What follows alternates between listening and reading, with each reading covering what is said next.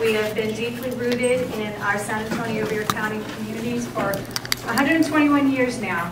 So we are extremely pleased to see all of you here today. We know there are others who are scheduled. This was a sold-out event, but we know that construction and traffic and all that is playing a role. Uh, hope you had a chance to get some of our food and drink from Pico de Gallo, which was right out front. A little bit of housekeeping. We aren't going to have a schedule break. If you do need to use the facilities, there are restrooms right outside the door. Women's on the right of the check-in and men's on the left of the check-in. Um, we are so excited to be doing this event today. Uh, it is our first time pulling something together like this, as you saw in the registration.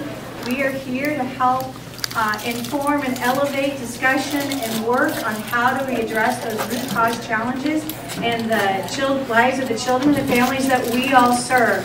You know, as we all know, we work so hard to try to help address what too often are intergenerational challenges in people's lives tied to either poverty or, or, a lot of those life stressors based on where they're born, raised, live, work, play, and age.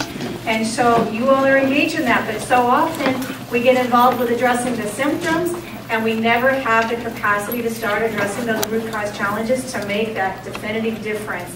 And if you're looking at our life and community as a tapestry, we all have different threads that we're engaging on, and if we have those threads that are out of sync, or you know not aligned or fall out of place, it's hard to put them back in, and so then we get frustrated when we think we quote unquote solved the problem, but we know we haven't because all these other issues are still affecting the lives of those we serve. So what we're hoping to do today, with the help of our sponsors of Blue Cross Blue Shield of Texas, as well as Methodist Healthcare Ministries, and you know many other partners, is we have partnered with Children at Risk who is an amazing statewide policy advocacy group that works to address and help, you know, advocate on behalf of children and families across many different areas.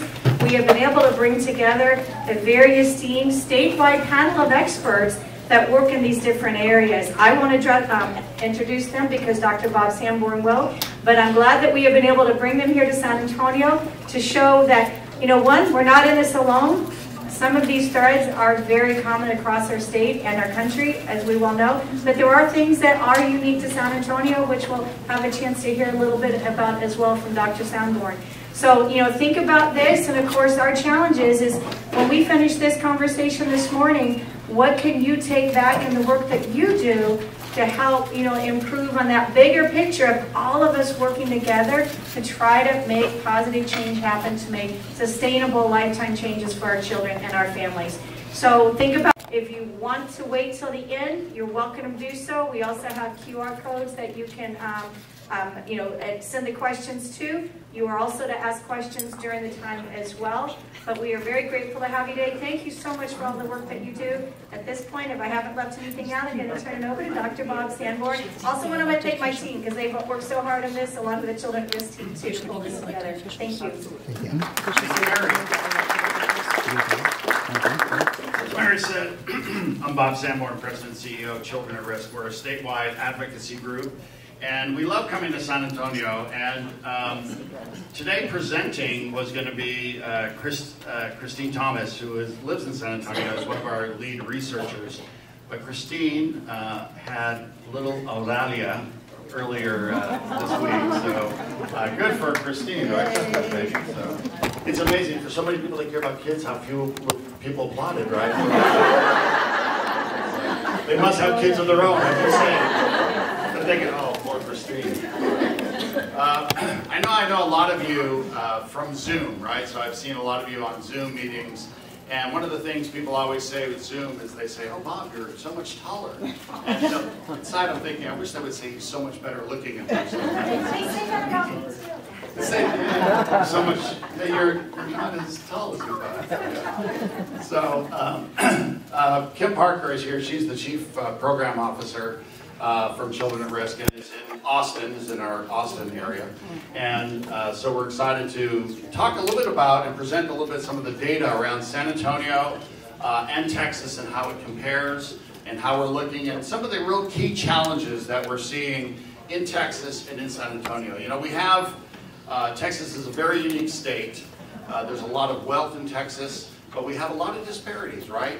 And we see in San Antonio sort of a, a face of Texas uh, that is unique, uh, but so many things that are sort of common challenges in San Antonio are also common challenges around the state. So we'll get into some of this. Kim, how are you doing today? I am doing great. It's so great to see so many friendly faces. I'm excited to have this conversation today. We've been building up this for almost a year uh, that we've been partnering on this project and exciting to see it finally here. Real quick, we have a really special kind of announcement, so I'm going to turn it back over to Mary really quick. Okay, special announcement. So I forgot to mention, you know, all of our sectors have to work together, whether it's education or healthcare, community-based organizations, et cetera. But also, we can't do it without our uh, public officials, our local, um, county, state, federal government. And we are excited that we do have District Councilwoman uh, from District 1, Dr. Um, Kaur is joining us today, along with Rick Galvan, who is representing District 5, Teri Castillo.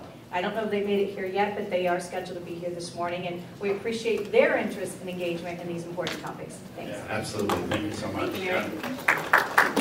All right, everybody, ready to dive in? I want to say one more thing. Um, one of the things that we do at Children Risk is we have a group called the Texas Family Leadership Council. And Mary and I, Deb Zuloaga and I were the, were the sort of founding board of this. And during the pandemic, uh, we brought together uh, nonprofits from all over the state that we met every week, which seems like a lot, but remember during the pandemic we weren't getting out much. So uh, we met every week, and it was really amazing because state experts would come and talk to us about what was going on, and every week we would have an infectious disease, pediatric infectious disease expert letting us know what was going on. And so I just want to thank Mary and Deb and all of the, all of you who've been part of some of those phone calls. It continues today because we realize it's a great advocacy tool. We've had legislation that has passed because of the work of the Texas Family Leadership Council. So, yeah, but let's go ahead. What do we have first? All right, let's dive in. So when we're looking at what we want to do today with our data review is the most important part of today is really our conversation with the panelists, right? Bringing in ideas and thoughts, thinking about innovation and uh, really um, problem solving some of these issues. But what we wanted to do first was just level set the data, right? So making sure everybody's kind of starting at the same foundation, the same starting point. So what we're going to do is we're going to go through some very basic demographics that I'm sure most of you all are pretty familiar with being from San Antonio. Take a look at the snapshot of challenges ahead and then focus on the needs, resilience, and a path forward. So that by the time we end today's session, we'll have some ideas about some creative solutions to these problems that the entire state struggles with. Yeah, we have a fantastic panel right We after do. this to sort of react to some of this stuff. Yeah. We do. All right, so let's dive into some just basic demographics so we're setting the stage for today's conversation. Yeah, so when we look at kids uh, just in the greater San Antonio area, and we're talking about uh, Bexar County and beyond, uh, right around San Antonio, so uh, 635,000 kids, it's a lot of children. There are about 7.5 million children in the state of Texas, uh, but this is the number of kids under 18, under 18, and then public school kids, uh, close to 300,000. So a lot of kids uh, that we see in this area. Uh, Actually, go back, because I did that wrong. Public school children that are economically disadvantaged, right, not just public school children. All right, so when we're looking at the racial and ethnic breakdown of the San Antonio area, um, what we're looking is that primarily San Antonio is made up of people of color. Um, however, those demographics actually are shifting. I'm sure it's no surprise to any of you who live here that people are moving into San Antonio. Um, San Antonio is being a city that um, has a lot of development. People are really excited to move to San Antonio, really excited about the, the culture and flair of the San Antonio community. And so what we're, what we're seeing is that although uh, people of color make up most of San Antonio, um, it is slowly um, moving so that there are more people um, who, with, who are white who are moving into the city slowly. So those demographics are shifting. However, again, primarily Hispanic Latino. And here, this is an interesting thing because this is the greater San Antonio area. If we were to focus specifically on Bexar County, it would be different, much more Latino. Uh, it would it'd be quite different, actually. So we're looking at the greater area. But when we look at the state of Texas and in San Antonio, here is the key thing that we're seeing. We're becoming more and more Latino as a state. So for every white baby born in Texas, 17 Latino babies are born. And, and it's not that we're having bigger Latino families. It's that the Latino population is young in Texas, right? It's a young, it's a young population. And, you know, if you're over 70 and white, you can try as hard as you can, but you're probably not going to have kids. And so, uh, and so we have a much older white population in our state. And, uh, and so it's important to understand that when we look at San Antonio and some of the key challenges, especially facing the Latino community, those are going to be challenges facing Texas as we move forward because not only are we talking more Latino, 66% of all babies born in Texas Latino. Uh, we're, we're not only talking about Latino, but we still have significant disparities in terms of income, right? And so a lot of our Latino families are lower income. And so that's something that we're going to have to look at. And that is the greatest hurdle, right, to success for children, is what is the income level of their parents. We all know those kids that beat the odds, but we don't have a system that helps kids beat the odds. And so what we'll talk about today is how do we try to change that system? How do we try to change some of the mitigators that are out there so that more children can be successful? Absolutely, and that's what we really want to talk about. So when we're looking at, demographics just tell you numbers, right? So then we have to really look at the social determinants of health. What are the things that are impacting the people who live here? Um, and as far outweighs just who you are, but we're looking at economic stability, educational access, and the quality of the education that they are receiving. We're looking at healthcare access and the quality of the healthcare that they are receiving. And we're also looking at just the general context of a community. So what is it like to live in specific communities in San Antonio? What is the experience of those living there? That is the social determinants of health, and they absolutely impact the overall outcomes um, that those families and those children experience. And when you have a relatively uh, poor city, right, San Antonio doesn't have, there is wealth, but relatively when you look across, there's a lot of a lot of low-income families. When you look at that and you look at economic stability, you realize this becomes one of our greatest obstacles. But we're not, we don't really have a system that's going to change that because Texas focuses on work. You have to work. But what we have in San Antonio and in Texas are a lot of low-income families that are working, right? We're, we're, they're all working, uh, but it's not necessary, you're not, families are not necessarily getting ahead like we'd like them to be. So we're not going to change the system. So what it does is that it puts burdens on these other three areas. Like how do we sort of excel in education and in healthcare and in the social and community context? How do we excel in those areas to make sure that we can level the playing field for our children? So what are the things that we're going to do uh, in, in, extraordinary ways in these other uh, areas to make sure that we're successful for our children? So looking at poverty, um, there's two different data points that we wanted to share with you. There is what is considered the poverty line, which I'm sure most of you all are familiar with, which is 31.5 for a family of four. So in San Antonio, we have 15.4. That's an annual income of 31,000. Annual income of 31,000 for four, for yeah, four for people. Four. Um, but then we also look at economically disadvantaged. And Dr. Bob, I think you're perfect to explain kind of why we consider that a really important metric. This is a better metric of how our kids are doing because this is the number of kids that qualify for free and reduced school lunch, right? So these are low-income families. And even that, we know that at the high school level, a lot of kids don't want to do any sort of declare themselves in need of free school lunch. So even the 67% is probably undercounted. The other thing is that when you look at just below the federal poverty line, what people often don't talk about is that in Texas, there are about half a million children that are considered to be in extreme poverty, which means that their families earn less than $10,000 a year. And this includes any benefits that they would get. And so uh, this is extraordinary, right, that we have half a million children that are living in extreme poverty in the state of Texas. So it's a big deal. Yeah, and I think it's important for us to recognize that definitions do matter, right? So we often talk about poverty line, but that does not provide the context for actually how families are living, the results of inflation, how expensive rent is, um, but the economically disadvantaged does help support, like actually these are children and families that are significantly struggling, that they need public benefits, um, and we should be looking at much broader than just a definition of poverty line. And one of the things that, uh, one of the underlying things uh, through all of this is that Texas does not, families in Texas tend not to claim the benefits uh, that they qualify for.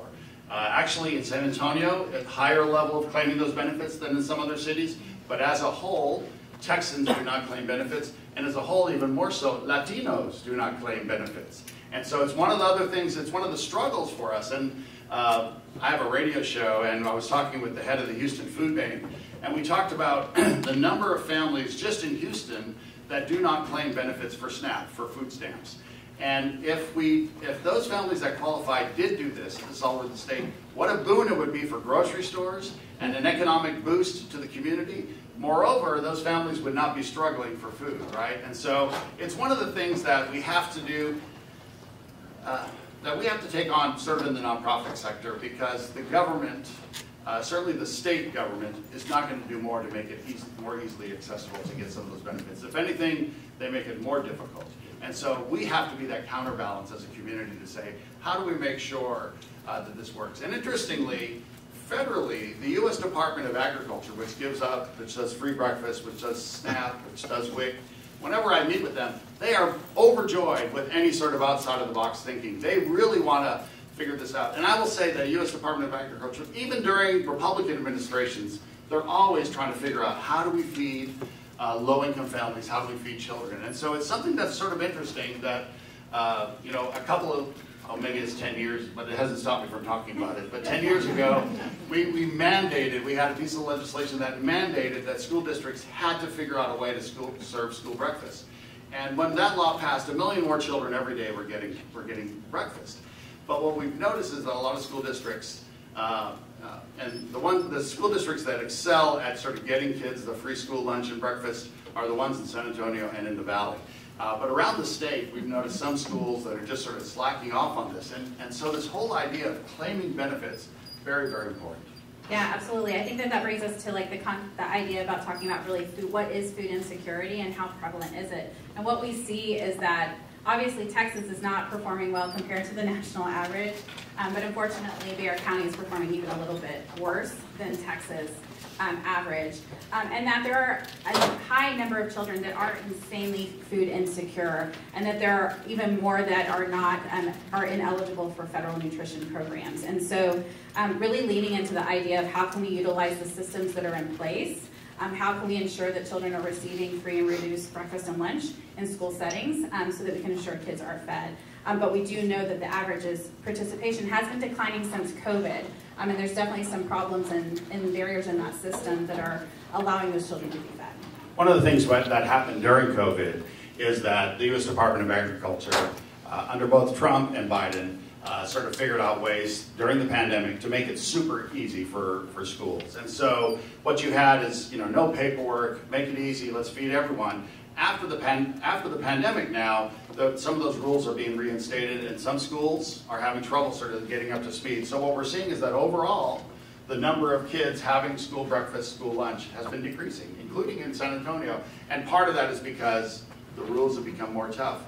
Now, do we think that kids were like trying to skirt the law and eat more? You know, uh, bully to them, right? And more, more power to them for doing that if they were. But we know they weren't. So it's sort of, it's interesting when you talk to the Department of Agriculture, they yeah, yeah, we get it, we should probably just make the rules easy. But Congress does not, you know, Congress makes it very difficult. So one of the other challenges we see really is that um, early education and cover child care coverage, right? Especially high quality, affordable child care. We, we know that that is a challenge. It has gotten worse since the pandemic when we saw a lot of child care facilities have to close um, and so what, what you're looking at is the total number of seats available within this area, but then more importantly is the total child care seats per 100 working parents. And what you'll see is there are only 53.5 available seats per working parent. So um, what we have is we have child care deserts, places where there are not enough child care facilities um, that are needed for parents who are working. And so parents are having to figure out and problem solve how they can have child care coverage so that they can get their family's needs met. And I want to preface talking about early education uh, with a little bit of a story. So, uh, when I came to Children at Risk, um, I took my own personal background. I'd worked at Rice University. I was a first generation college. I grew up in Puerto Rico, first one in my family to ever go to college.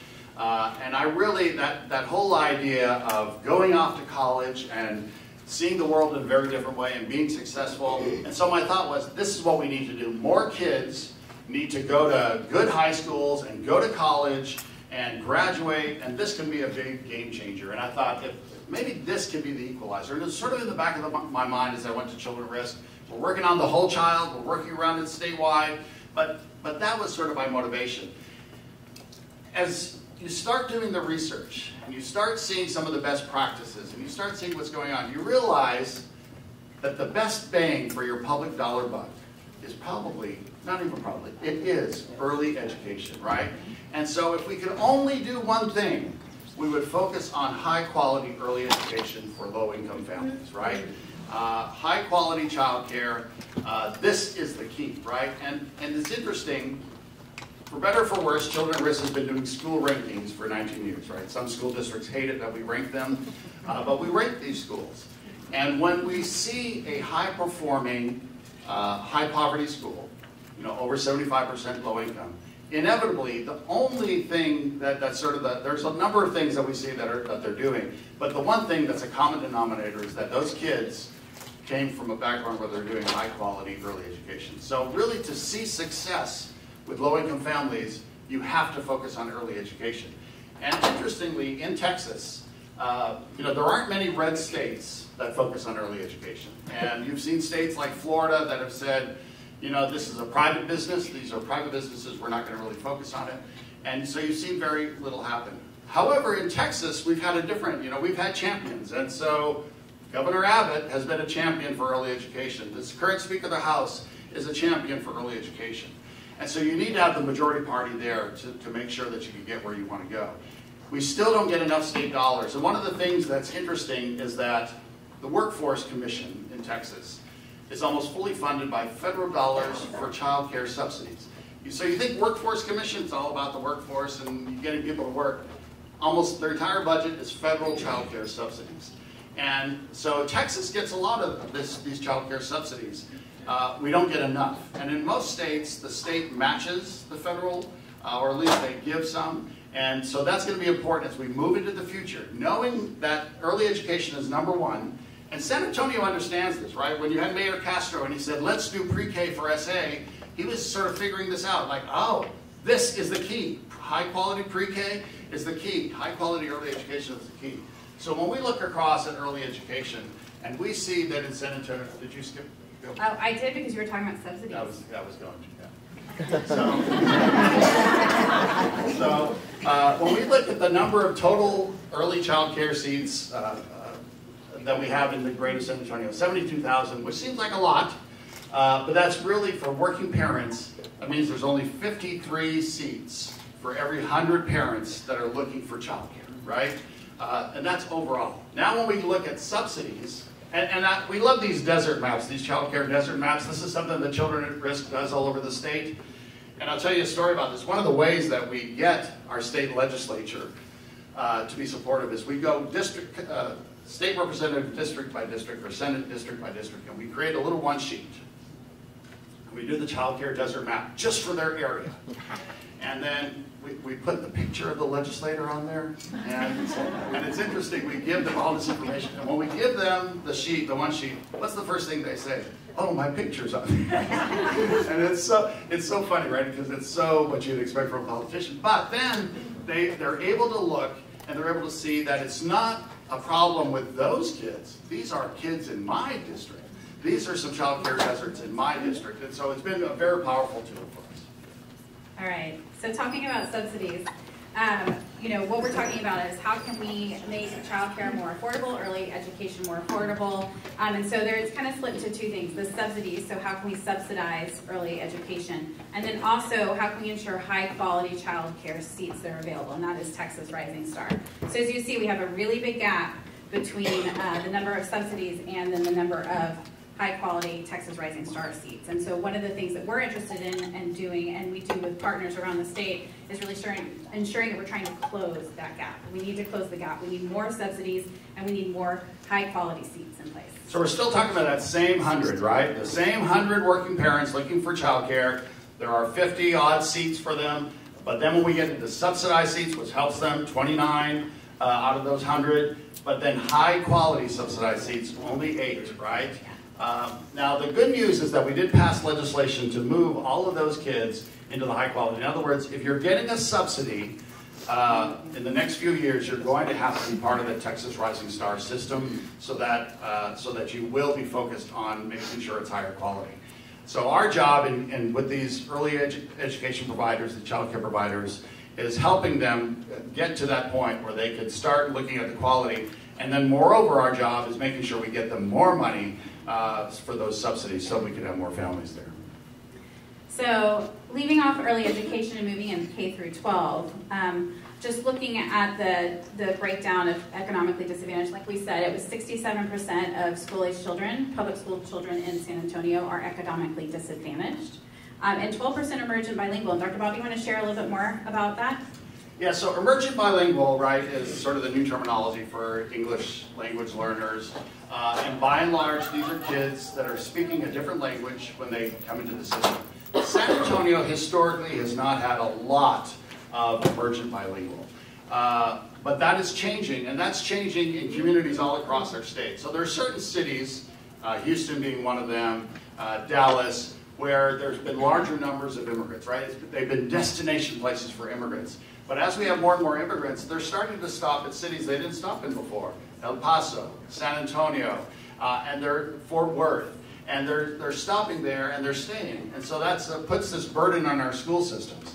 Uh, but interestingly, when you look, so when you look at Dallas and you look at uh, Houston, about half of the kids in those cities are children of immigrants or immigrants themselves. Children of first generation immigrants or immigrants themselves. When you look at the state of Texas, a third of all of our children are immigrants themselves or children of first generation generation immigrants. So that's a third of the kids. And so one of the things we'll tell the governor, right, is that you're demonizing immigrants. But this is a third of our workforce across the state of Texas. And so it's very important, right? So we'll, we'll talk about mental health, but how do you think a child, or certainly that mom and dad feel when they're being demonized uh, day in and day out? Uh, by the governor in this state that they are part of the workforce, right? So it's it, it we sometimes have a disconnect there, but there's a real connect for a lot of these families. So Dr. Bob, you were mentioning our school rankings earlier, and I thought we decided we wanted to kind of touch a little bit more about the importance of gold ribbon schools and what that what those opportunities are. Yeah, one of the things that uh, we work with the TEA to come out with our school rankings, and one of the things that they have always liked, and they I think they would rather we just focused on this part of our rankings and let them do the other stuff. But the minute we have a change in TEA commissioner, we have to hold everybody accountable. So we, we feel like we're going to keep doing them. But these gold ribbons are basically uh, for a traditional school, which is a non-charter school, which is a non-magnet uh, school as designated by the TEA. So for regular school, if we look across the state, and we look at those regular schools that have over 75% of the kids that are low income, how, you know, where are the ones that are doing well? And I can tell you that when we started doing these rankings 19 years ago, there were none. You know, I thought, let's find these schools and we'll be able to do, but there were there really were no schools. Now uh, we find there are more and more. The biggest number of them in, are in the highest poverty part of our state, in the Rio Grande Valley, which is the oddest little thing, right? That you'd find the highest performing uh, uh, high poverty schools would get, are going to be in the valley. but we still look at every city. And in San Antonio, 5% of the schools that are eligible um, get that gold ribbon rating. and these are the top five gold ribbon. And the reason we do this also is for us to use these as, as examples, right? If we look at these schools, what are the things that are happening at these schools that we might be able to replicate? Because the majority of our kids are these low-income kids. So how do we make sure that we're sending our kids to these schools that, you know, if this levels the playing field, if schools, public schools are the great equalizer, well then let's equalize them. Let's make sure kids are going to the best quality schools. A lot of this burden, because the state refuses to pony up a lot of the money that needs to be uh, happening, including, we had a $33 billion surplus, no pay raise for teachers. What the heck, right? And, and, and continually we see some of these things that are just ridiculous. Like, we, if, if it is going to be a great equalizer, let's make it the great equalizer. So we're doing our darndest to sort of show what are some of those things uh, that are going to work. And I think our next slide has some of those, right? So the most important one is the full day pre-K.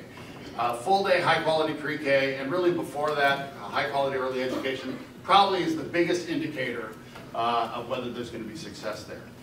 Moreover, whenever kids can go in uh, a cohort from pre-K into K, like all together, even, it's even stronger, right?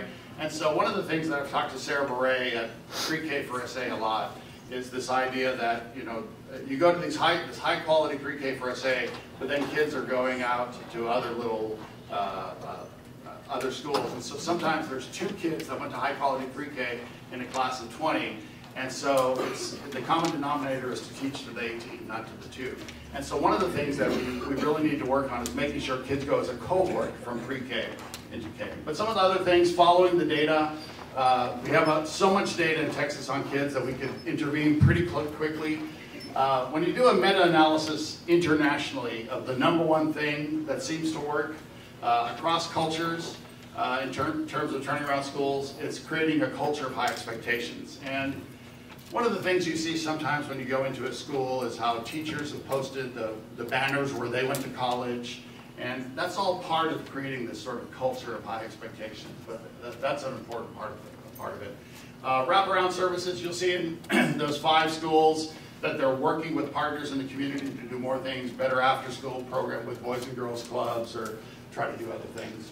Uh, supporting the teachers, supporting the leaders, uh, I think that's important. Moreover, on the leaders, we rarely find a school district that's super excelling if they don't have a sort of an activist superintendent, someone who comes in and really wants to shake things up, working with the teachers, uh, working with researchers, working with the community to say, how do we make sure our kids are successful?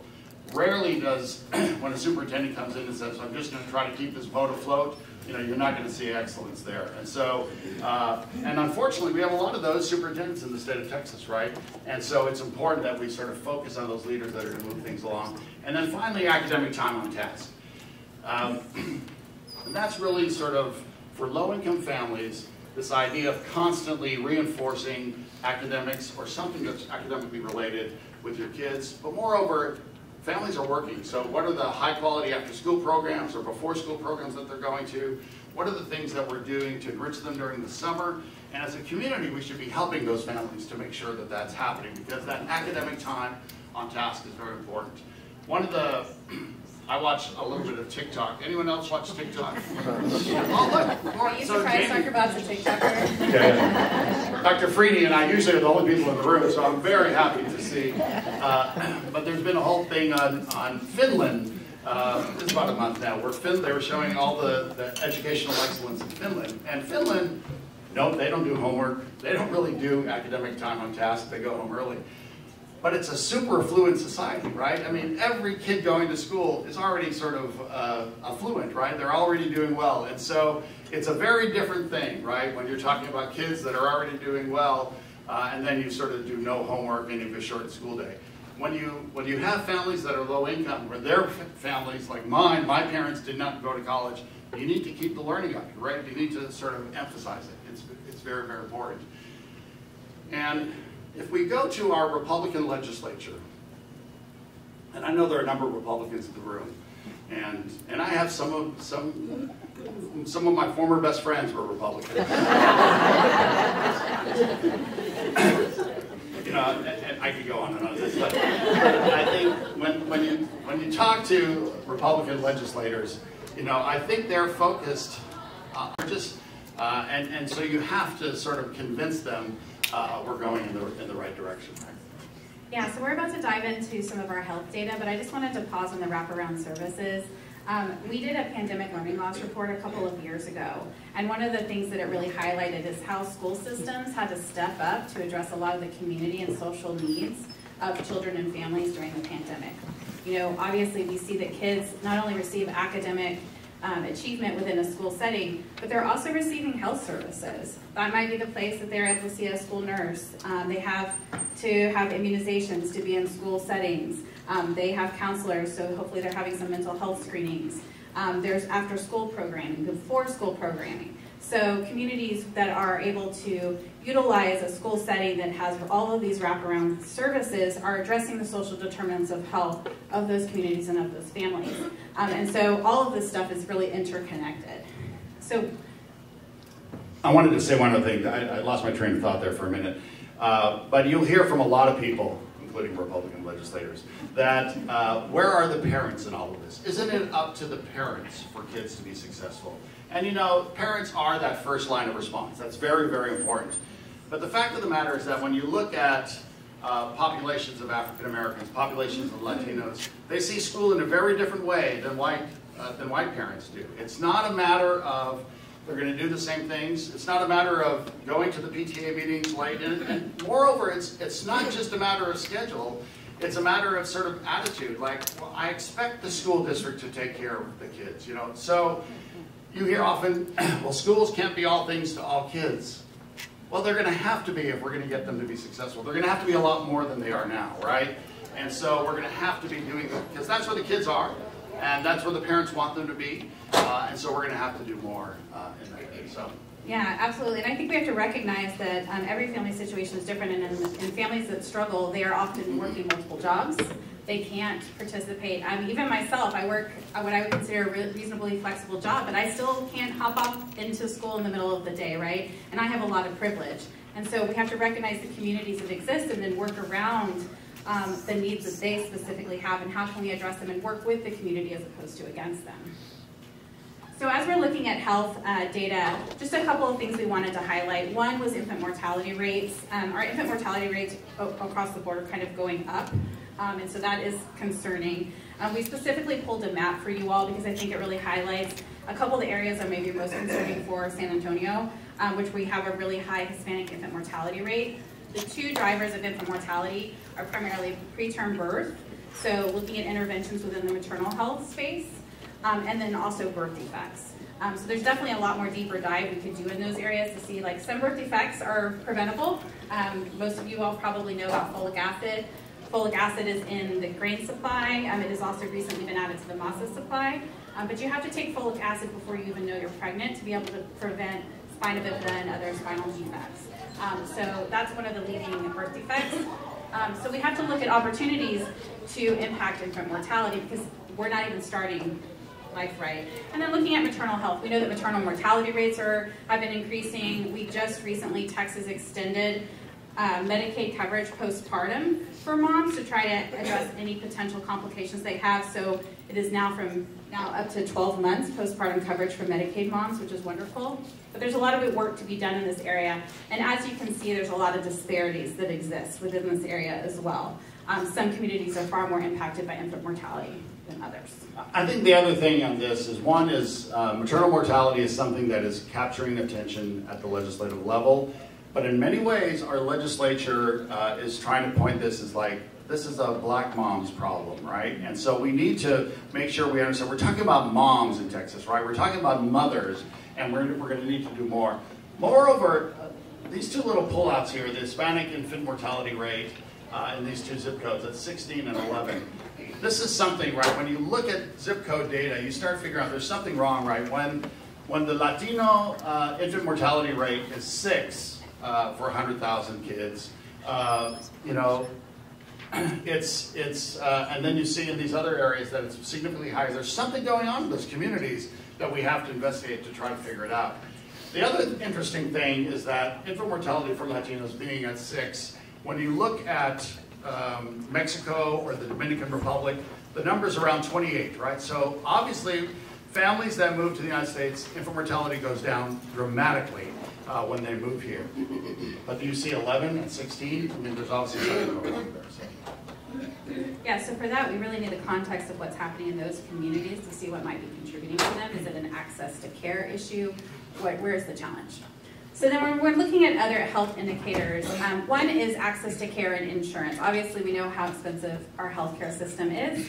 Um, San Antonio, interestingly, has higher rates of, um, than the state average of being insured. However, just being insured does not mean better health outcomes. We, um, so we have to be aware of how accessible is that insurance, how expensive is it still to go to the doctor. You maybe have health coverage, but you still can't afford that appointment the two cities in the developed world with the highest level of uninsurance are Houston and Dallas, right?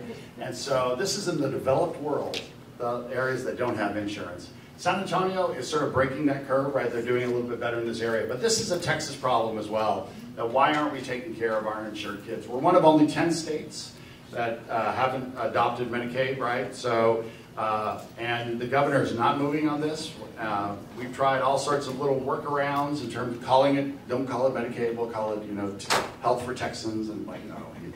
Uh, we've tricked them before, but not uh, so, uh, uh, so it's something that we need to be aware of. And there are a lot of red states that have voted, right? Heavy Republican states that have voted, no, we want Medicaid expansion. Right after Uvalde, I remember watching the press conference with the governor there in Uvalde, and he said, obviously this is a mental health problem, and um, I don't think it's obvious, but but it's a that it's, it's, that's the talking point. And we said, well, are we gonna get more money for, uh, for uh, mental health? And he said, absolutely. And then some reporter, some smart reporter said, well, you, would you consider Medicaid expansion? Because that would bring in 200 million into the state just for mental health. And he said, no, we'll find the money a different way. Well, he did find the money a different way. Uh, but this is an idea of what would happen if we had Medicaid expansion. Yeah. Um, I'm, we're going way too long. No, you're great. You're Okay, actually, I think we're fine. Uh, but I did want to call out immunization. So one of the things that happened to the legislature this past session is there was a bill that was removing um, school and child care vaccine mandates. Um, so that would mean that right now we do have a very generous exemption policy in the state of Texas. You can be exempted from vaccinations, right? So you're not required to go, you just have to have the exemption paperwork filed to be able to attend school. Um, this was removing it completely. So one of the things that's interesting, dynamic that happens when you're looking at immunizations here in Texas, um, and a lot of other communities, is that you know families are busy. Low-income families struggle. Uh, they they have to take time off of work. They might have transportation issues to get to immunization clinics, et cetera, et cetera. And so sometimes they get behind on immunization schedules. Not out of any malicious intent or not out of a desire to not keep their kid healthy, just because life is hard and they're just doing the best they can, right? And so a requirement for school entry kind of means like, oh, I got to do this, and so I will figure it out because my kid needs to go to school and I need to get these vaccines done. And so there's vaccine clinics and communities that they're able to access. Um, but what we're seeing across the board is this, this downward trend of kids being immunized.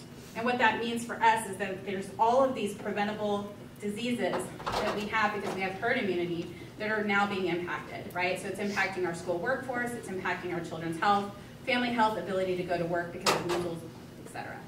Um, and so what you'll see is here nationally, we're sitting around 70, um, a little bit lower for Texas, and then even lower for Bexar County. So kids are not getting immunized with the basic seven immunization series. This doesn't include things like meningitis or uh, chickenpox, just the basics that we think of as childhood um, immunizations. And so that's important because what we're doing is we're putting our children and our community at risk for preventable diseases. And we are seeing things like polio, measles pop back up.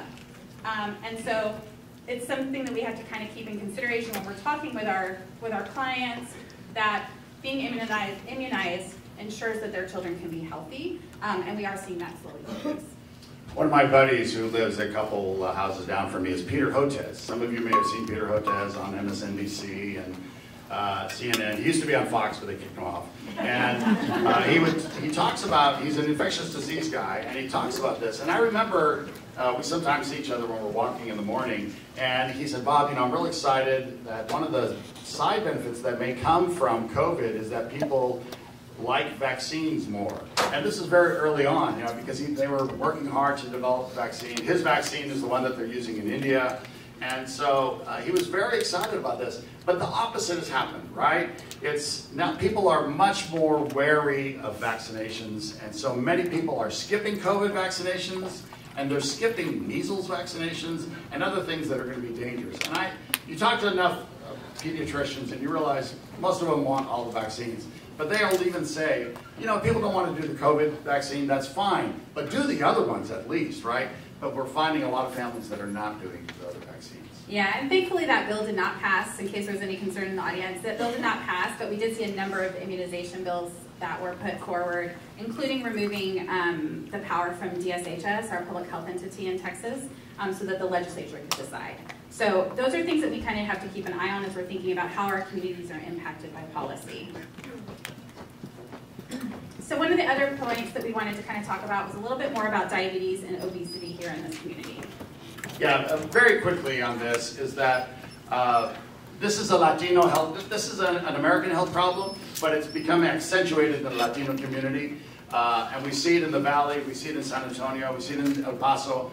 Uh, these are, this is an issue that is a key issue for our kids. And we're going to have to find and figure out some comprehensive way uh, that we can intervene uh, on Latino uh, obesity, childhood obesity. It's, and frankly, it's important for all of our kids, but we see so much of it, especially the type 2 diabetes coming out of Latino kids, out of Latino communities. Uh, it's, it's such a negative impact. And we'll be talking a little bit more about that here in a minute in the panel.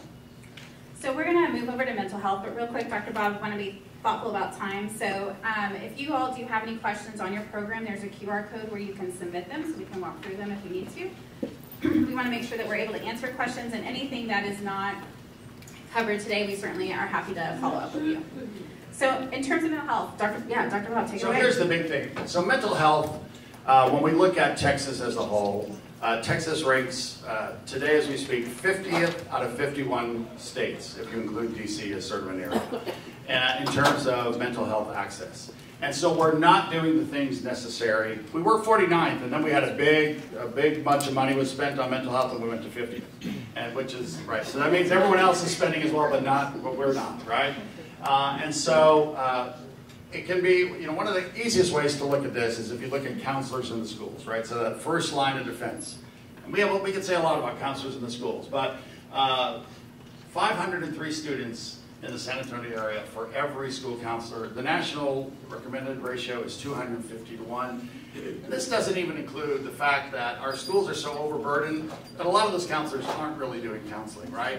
And so when we think about things that really help, we think about some of the programs that come into the schools, like Communities in Schools, that do a really nice job of focusing on mental health. Mental Health America does focuses on mental health. And so it's one of the things that we're going to have to do a lot more in our state. We're still not serious about it. And one of the things, I mentioned this earlier, whenever there's a shooting, right, we want to put more money into mental health. There's not really a necessary tie there, but mental health advocates like, we'll take what we can get, right? We'll yeah, so if you want to say it's, it's because of that, we'll take that money. But it's like a little lie that we're living with to make it acceptable to, re to receive more mental health money. But there needs to be a lot more mental health money coming along. Yeah, and this also really calls attention to access to care, access to mental health services. One, if you do have private insurance, how expensive it is still to go to mental health. If you can find somebody, child therapists or child mental health professionals, even harder to find than adults. Um, and then you have to be able to have the time and the resources to be able to get to those appointments, often during the 8 to 5 working hours as well, right? So when we're looking at the complexities of what families are having to experience to be, even be able to access these services, it can be overwhelming for families that are already struggling and are underwater. And, and briefly on the suicide ideation, uh, there aren't state, there's not state data on some of this, but nationally, when you look at Latino student suicide ideation, it's higher than this. Uh, so there, this is a, a, real problem amongst uh, Latino, Latina teenagers. So the data tells us what the data tells us, but data is just numbers, right? It doesn't necessarily provide all the context for the experience of the families in our communities. That's why we're excited to have our panelists. But we did want to kind of highlight some of the three areas of need that we're seeing, as well as the areas of resilience that we have in this community, because resilience means there's strength, and there's so much strength in San Antonio. And so how can we leverage that strength and those opportunities to be able to help impact these problems? So all across the board, when we think of some of the sort of key areas, uh, childhood obesity, diabetes, uh, we've talked a little bit about that. That is a key area in San Antonio. It's a key area in Texas. All of these will be key areas in Texas, but they're also key Latino issues and key San Antonio issues. Uh, gaps in mental health support, which we've talked about, and then kindergarten readiness. How do we make sure that those kids are going to get into uh, the K through 12 system and be able to, to succeed? And then underlying all of that, it's access to support services, making sure that we're using the federal dollars that are there for us to make sure that we could uh, we can help kids and families, and then figuring out systematic and social factors. And I would even say another one might be sort of the built environment. What is the built environment going on in San Antonio, and how can that have an impact on mental health, on obesity, uh, some of these things. We haven't, I mean, as we've gone through this, we've whisked through this data, there's so many other sort of key issues that are so important, uh, but um, I think we've done a good overview, Kim, because of you. well, thank you, Christina. All right, so when we're looking at areas of resilience, what we see is definitely early childhood intervention programs, ECI programs, is definitely an area of resilience for San Antonio. Um, this is timely intervention in the early years of life that can impact both the success of the child, but also the success of the family. I think the other part of early childhood is that San Antonio is really the first community in the state to recognize the importance of that early childhood experience, whether that be pre-K or child care, right? So the idea is, you know, like double, triple down on that because that's going to be real important. Uh, preservation of the culture. See, we see in San Antonio this uh, increase in the enrollment of dual language programs. Uh, what we all understand is that dual language programs are better than any single language program. Uh, and so more of that is, a, is going to be an important thing. Uh, San Antonio uh, is sort of have, you know, I, I love San Antonio because of sort of the civic pride. Uh, and and we, uh, people who speak Spanish, of course, make fun of San Antonio because no one speaks Spanish in San Antonio, even though everyone's Latino. And so, um, no one laughed because no one likes in San Antonio likes to be made fun of.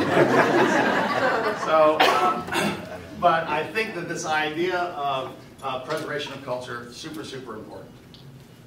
Yeah, and then SNAP services. We have a higher share of families receiving SNAP benefits, which is wonderful, right? Because we're talking about these are federal programs that are available to families, sometimes very difficult to access, as anyone who's worked in direct case management or service implementation realizes how challenging those barriers are.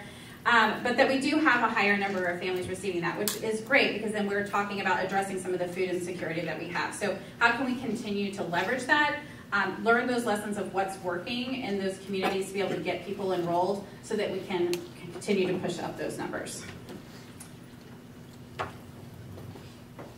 So when we're looking at our path forward, right, again, the data is the data, and what we wanted to do is kind of set the foundation so we kind of knew some of the bullets that we're talking about. But what's most really important is that how can we engage and collaborate as partners, both at the state and the local level, to ensure that we're changing multiple layers of intervention? We're talking about direct service entities, probably a lot of you all who are actually providing services to families. What's the experience that you are having and that those families are having that we can learn from? And then how can organizations like ourselves look to change policies to make your job easier and to ensure that those families have the support services that they need, right? We need to be able to do both. We have to help the individual while also trying to improve the system. So we need to collaborate.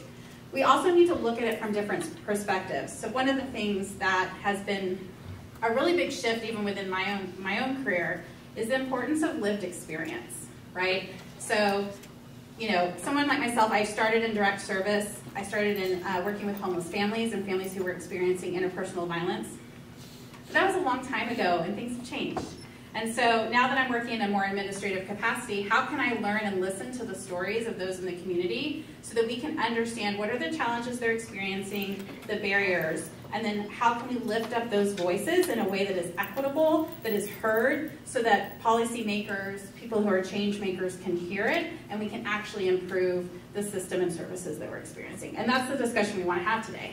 Absolutely, and, and I'll say one little thing about collaboration. Uh, I teach a graduate level class on philanthropy, and just the other day we had a group of philanthropists, and they were talking about collaboration, and that they saw the data that when nonprofits collaborate, you know, the, the results are so much better, right? And where they're not sort of fighting over turf. Uh, but they've also discovered that a lot of times there are a lot of uh, foundations that will say, you have to collaborate. And they said there's no, there's no bigger failure than when you tell someone that they have to collaborate. And so it's up to us really to want to have to collaborate in the nonprofit community, right? We have to want to collaborate. Uh, and, and you know, I find, we find at Children at Risk that a lot of young staff sort of don't get that yet. They find that it's easier probably just to do it on your own. It's just so much easier. So you have to be much more intentional about sort of training and teaching uh, how to be collaborative. So before we move over to our wonderful panelists, we wanted to just see if there was any questions. I'm going to turn it over to Mary Gar, who's going to. Um, you have some good questions, Mary? I think so. What's the best one? So, oh, there's two good questions here. So the first one is, given the current political climate, what kinds of policies are most likely to pass that can help address the needs and challenges highlighted in today's conference? Yeah, so two things and then I may need you to repeat it when I get to the second thing. but the first thing is that the best thing to change public policy is to vote. In this state of Texas, there are two groups that don't vote. Young people and Latinos. And so when you look at that bigger group, you have to wonder what is happening. Because if young people and Latino, or either one of those, voted in numbers, everything would change in Texas and we would not have to worry about some of these policies. That being said, I go to a lot of national conferences with friends from blue states, and one of the things that they say is that we still have to fight because kids don't vote. And so for children's policy, it's still very tough. Uh, so voting will change a lot, and a lot of things we worry about will be assuaged, but I think that uh, it's something that we have to stay engaged in. And then this the other, other policy that Hey, we just said what kinds of policies are most likely to pass that can help address okay. the needs and challenges. Yeah, and the other thing is that there are a lot of knee-jerk reactions at our state legislature. So if you talk about sex education, if you talk about gun control, uh, there are things that they, you just can't get anywhere, right, when you talk about those things.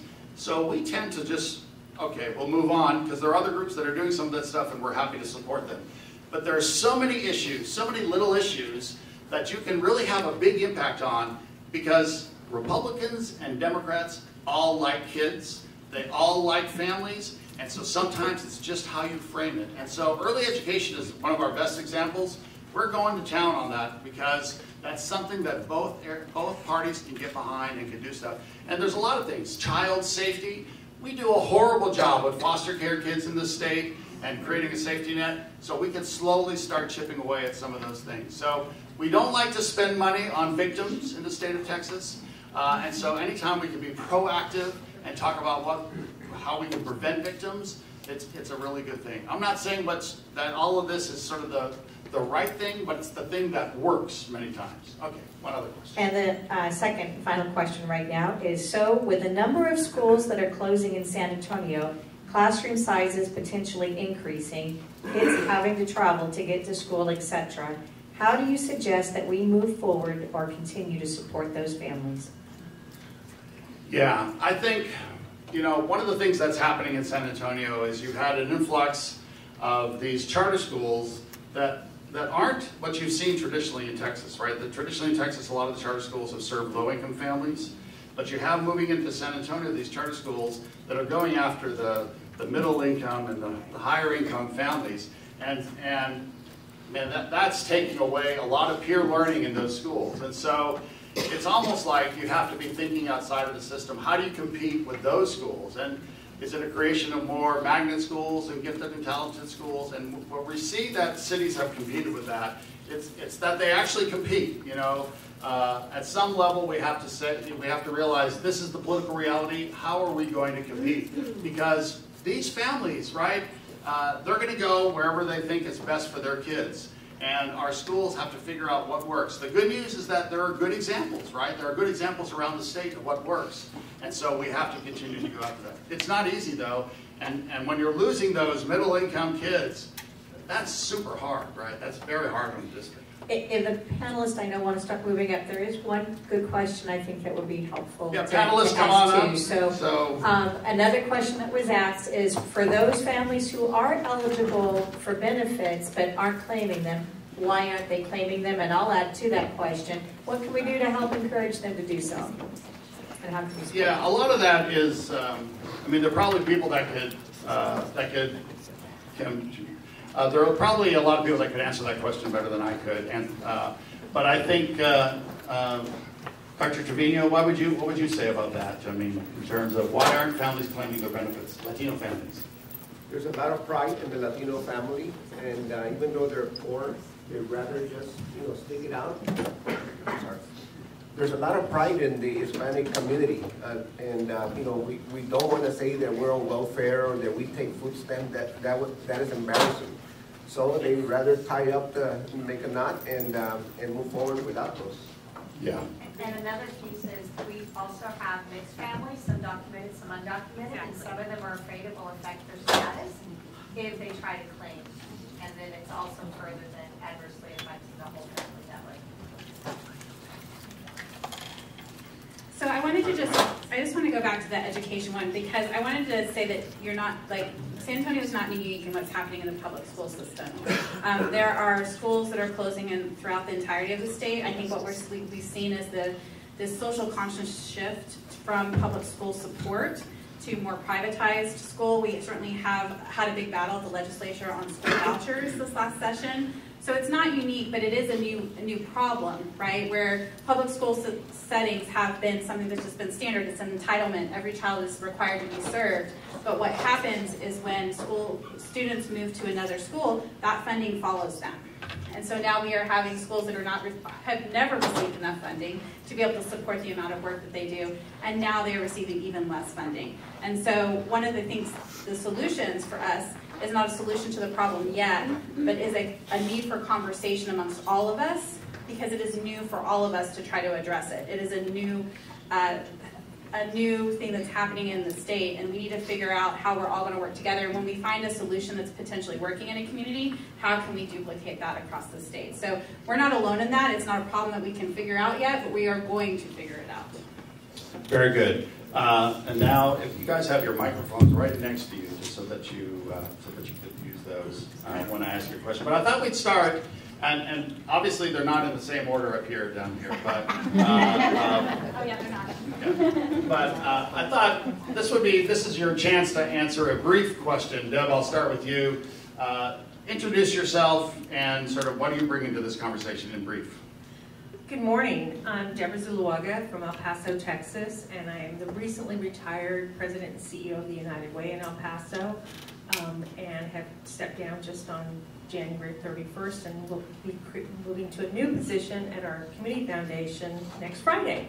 Um, and before I uh, talk about anything else, I do want to thank Children at Risk and Family Service for this amazing opportunity and I will tell you, uh, I just listening to it just fires me up to really um, be a part of solutions. And I'm so excited to be here in San Antonio to really have an opportunity with you. Also, thanks to Mary Gard, to Kim Parker, and of course to the great leader from Children at Risk, Dr. Bob Sanborn. So thank you all so much for hosting this and bringing us all together. It's just amazing. Yeah.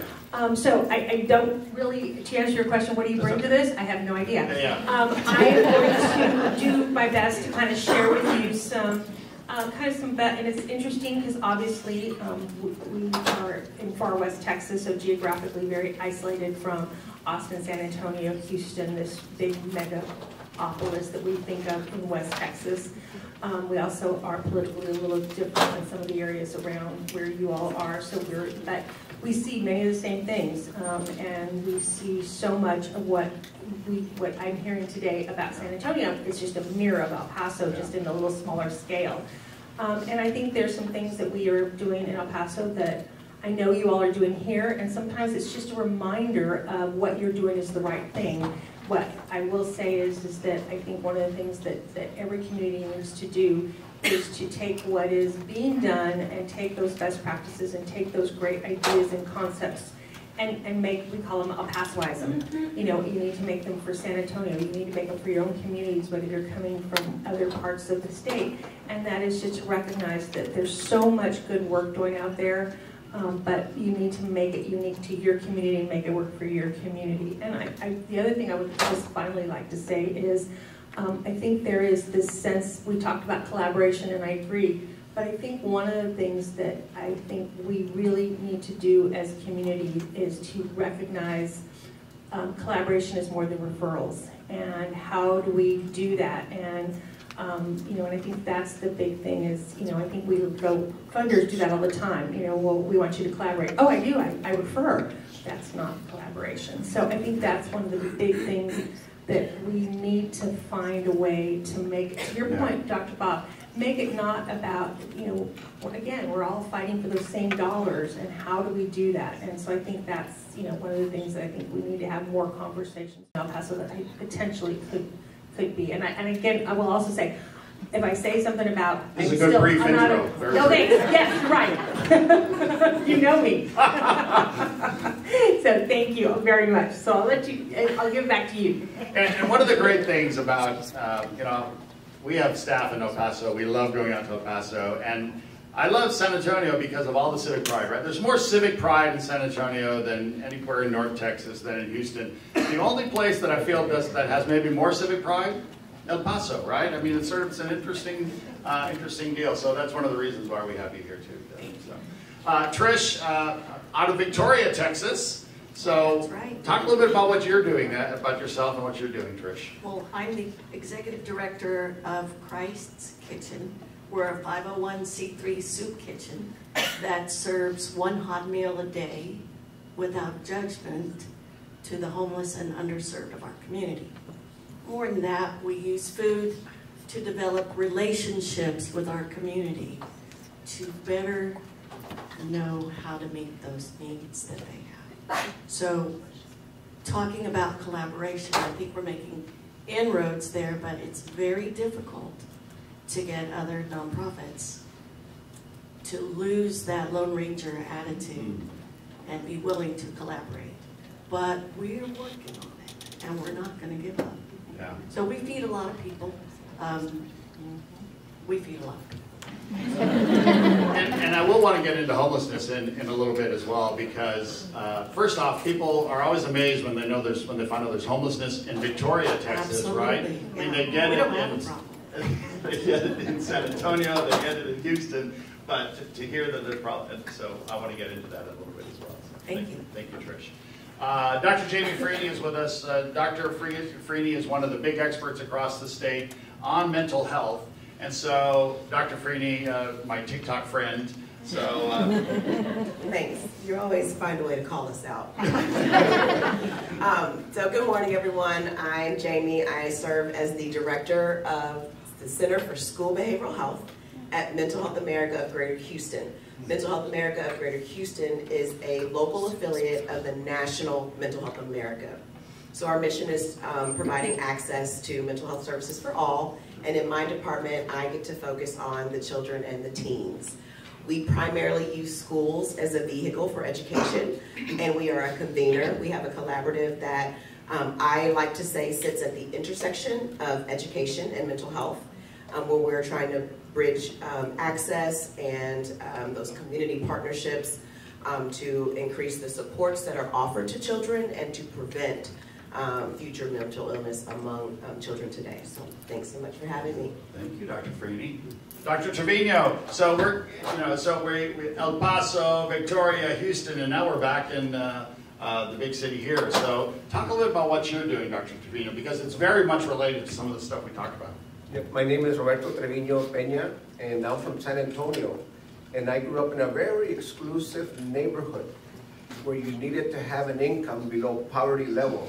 And, and that's the Victoria Porch, it was a housing projects along Cesar Chavez. Um, you know, I went on to medical school and uh, did a residency in internal medicine and then did a fellowship, and these are all in Chicago Medical School, the fellowship in critical care medicine. So I came back and uh, ran the intensive care units of three major hospitals in San Antonio.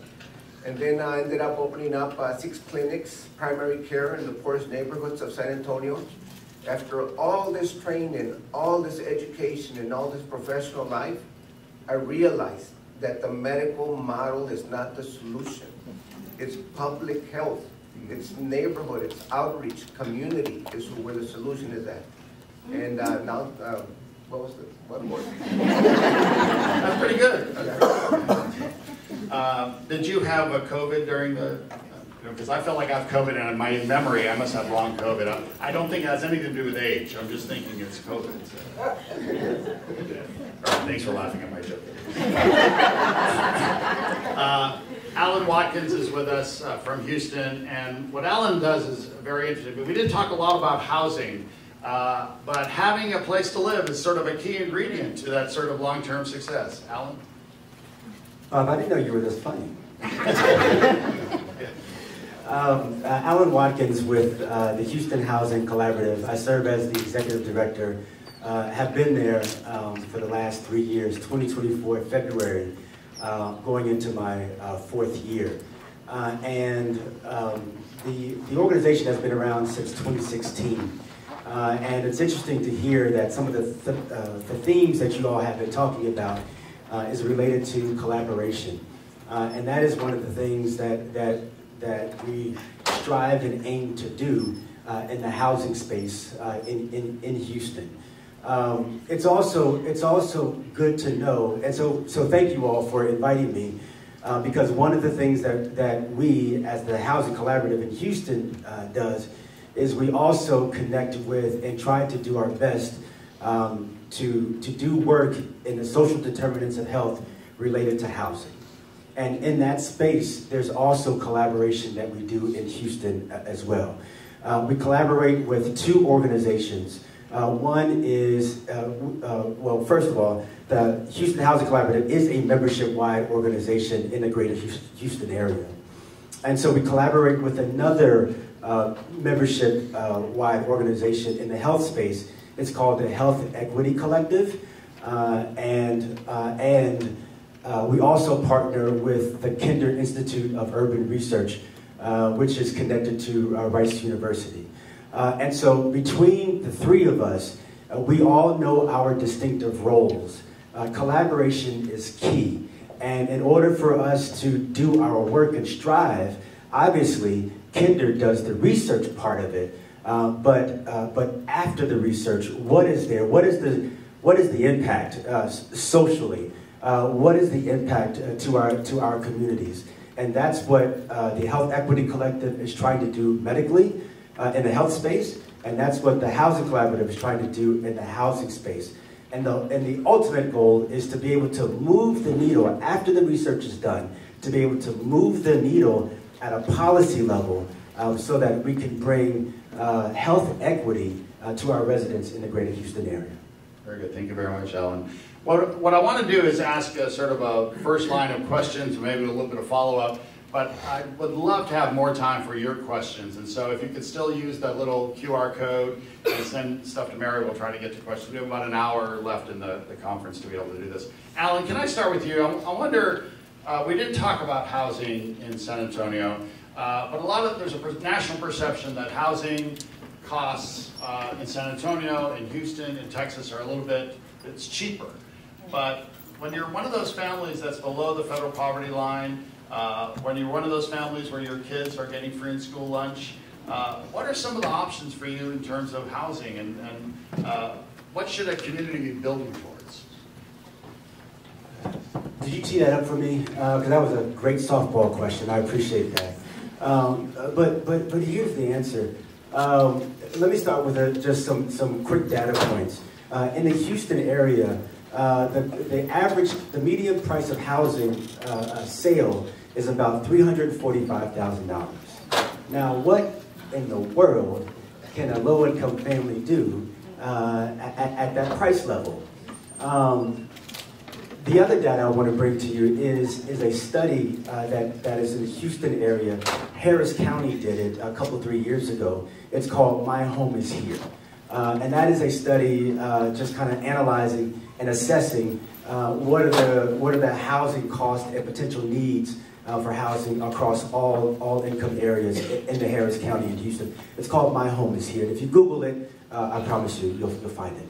But the point is, is that in that study, they say that 150,000 units are needed for, uh, for, the income, for the income range of $20,000 $20, and below.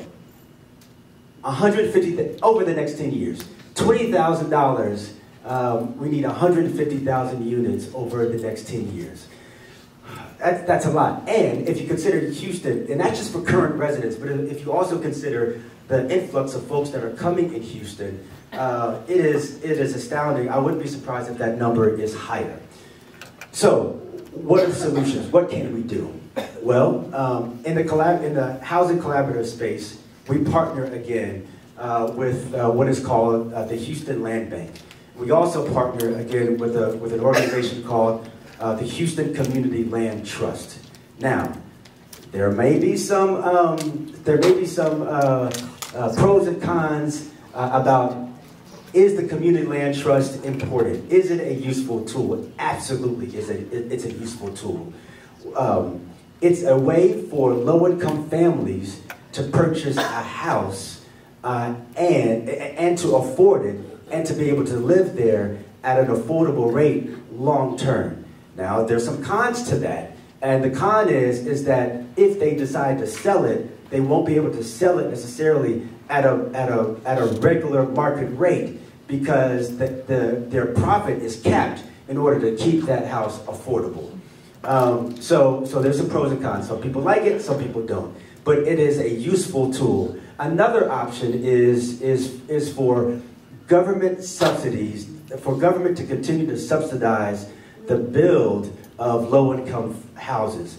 And that, and, and that is, a, is a fantastic opportunity for us as the collaborative to continue to push, cajole, persuade our elected officials um, to bring more government subsidies in whatever capacity to lower the price of housing so that folks can, can, can afford it. Now, it is, it is a challenge to do that but it's helpful for the community and it's also helpful for the banks because the banks as a business need want to be able to lower their risk and one of the ways that they can lower their risk is by government subsidy to help to help with that. Thank you very much, Alan.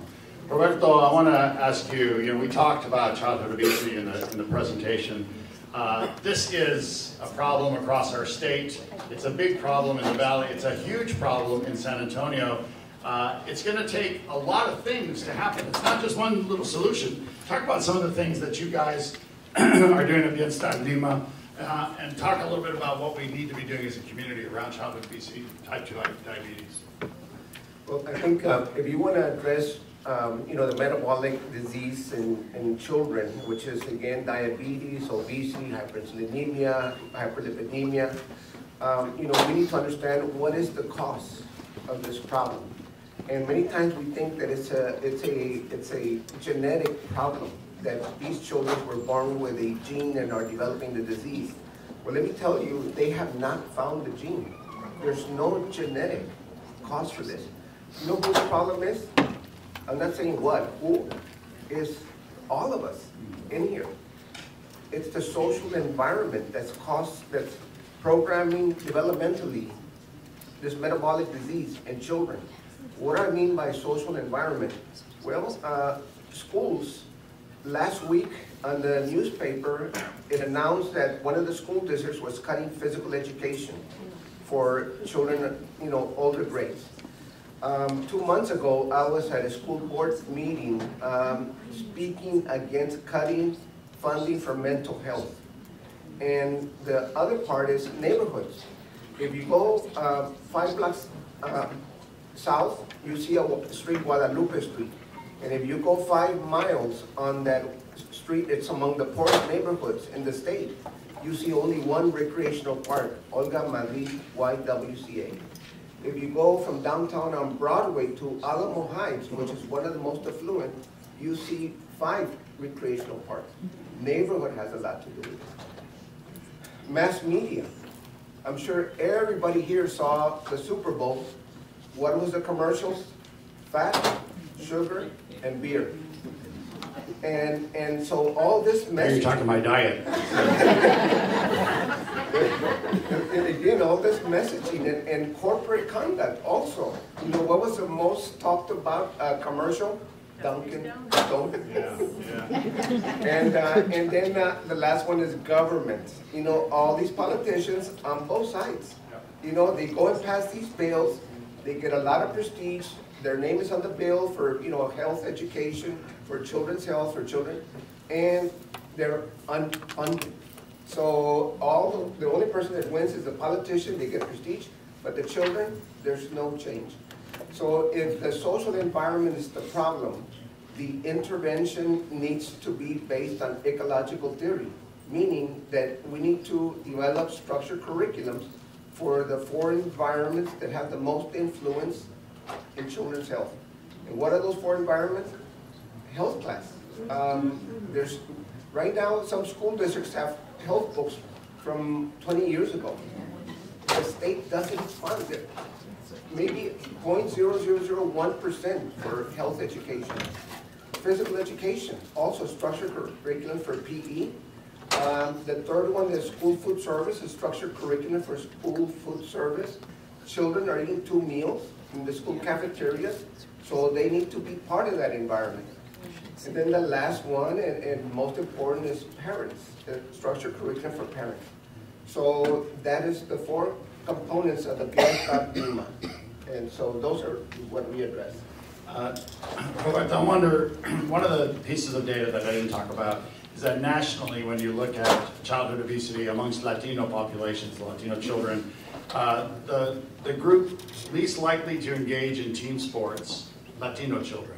Um, and there are a couple other things like that that I feel like with intentionality, right, if communities understood, you know, so is there a way to be much more intentional when we talk about this issue? Yeah. Again, um, you know, we do talk about obesity and black and Latinos and obesity and black and Latinos, and, um, but you know who has the highest rates of obesity?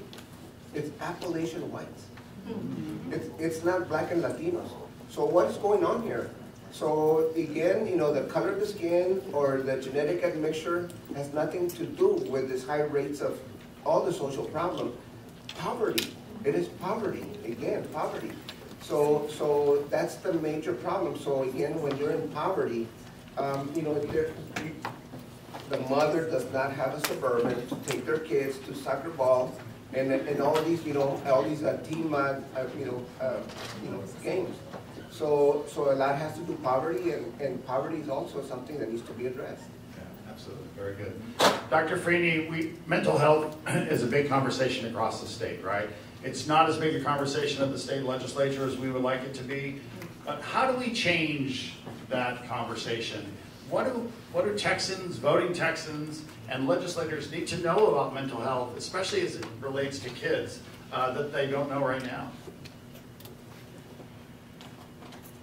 Well, I'm not sure what they don't know right now, um, because They're pretending to not know a lot. Yes, yes, um, and not to connect the dots, such as mentally healthy, mentally well children perform well academically, and they graduate, they go on to college.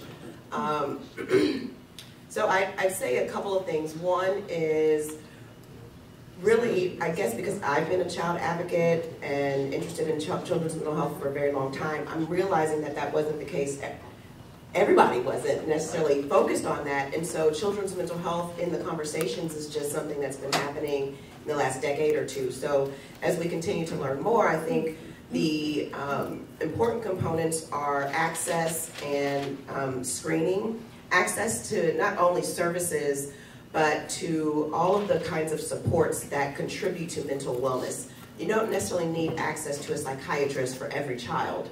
Um, but you would need access to a peer mentor or a counselor in times of crisis or when those children are experiencing mental illness and may not um, have the, um, may not be able to articulate what's wrong or they don't have the words, but um, a nurse or a counselor can say, okay, you've had a stomach ache for five, stomach ache for five days in a row during math class.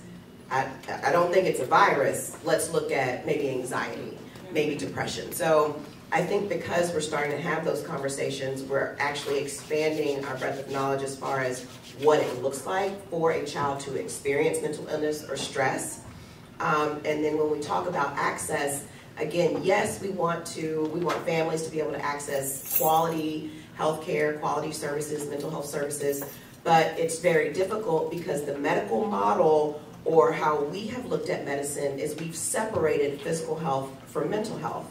And so now as we're moving forward, we're starting to hear more about the integration of mental health services, behavioral health services within the primary care clinic, within the hospital systems. And so I think we should definitely continue to go that way, but also think about, okay, where are kids majority of the time during their lives? They're at school.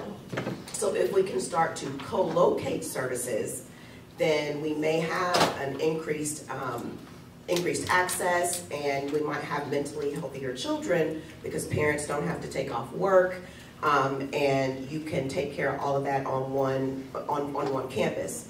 The important component, and this is what the legislature did when I testified on behalf of a bill, they restated what I said, but they said, oh, so you're saying we need to hire teacher, we need to hire counselors instead of teachers. No, no, no. No, no, no, no, no. We need to hire counselors and teachers. And so while schools, the priority is that academic achievement, no one is trying to change that. But we, what we are trying to do is recognize that, hey, while you have your, these children are with you majority of their childhood, then let's take this opportunity to also help them grow and develop mentally and physically while they're here on this campus.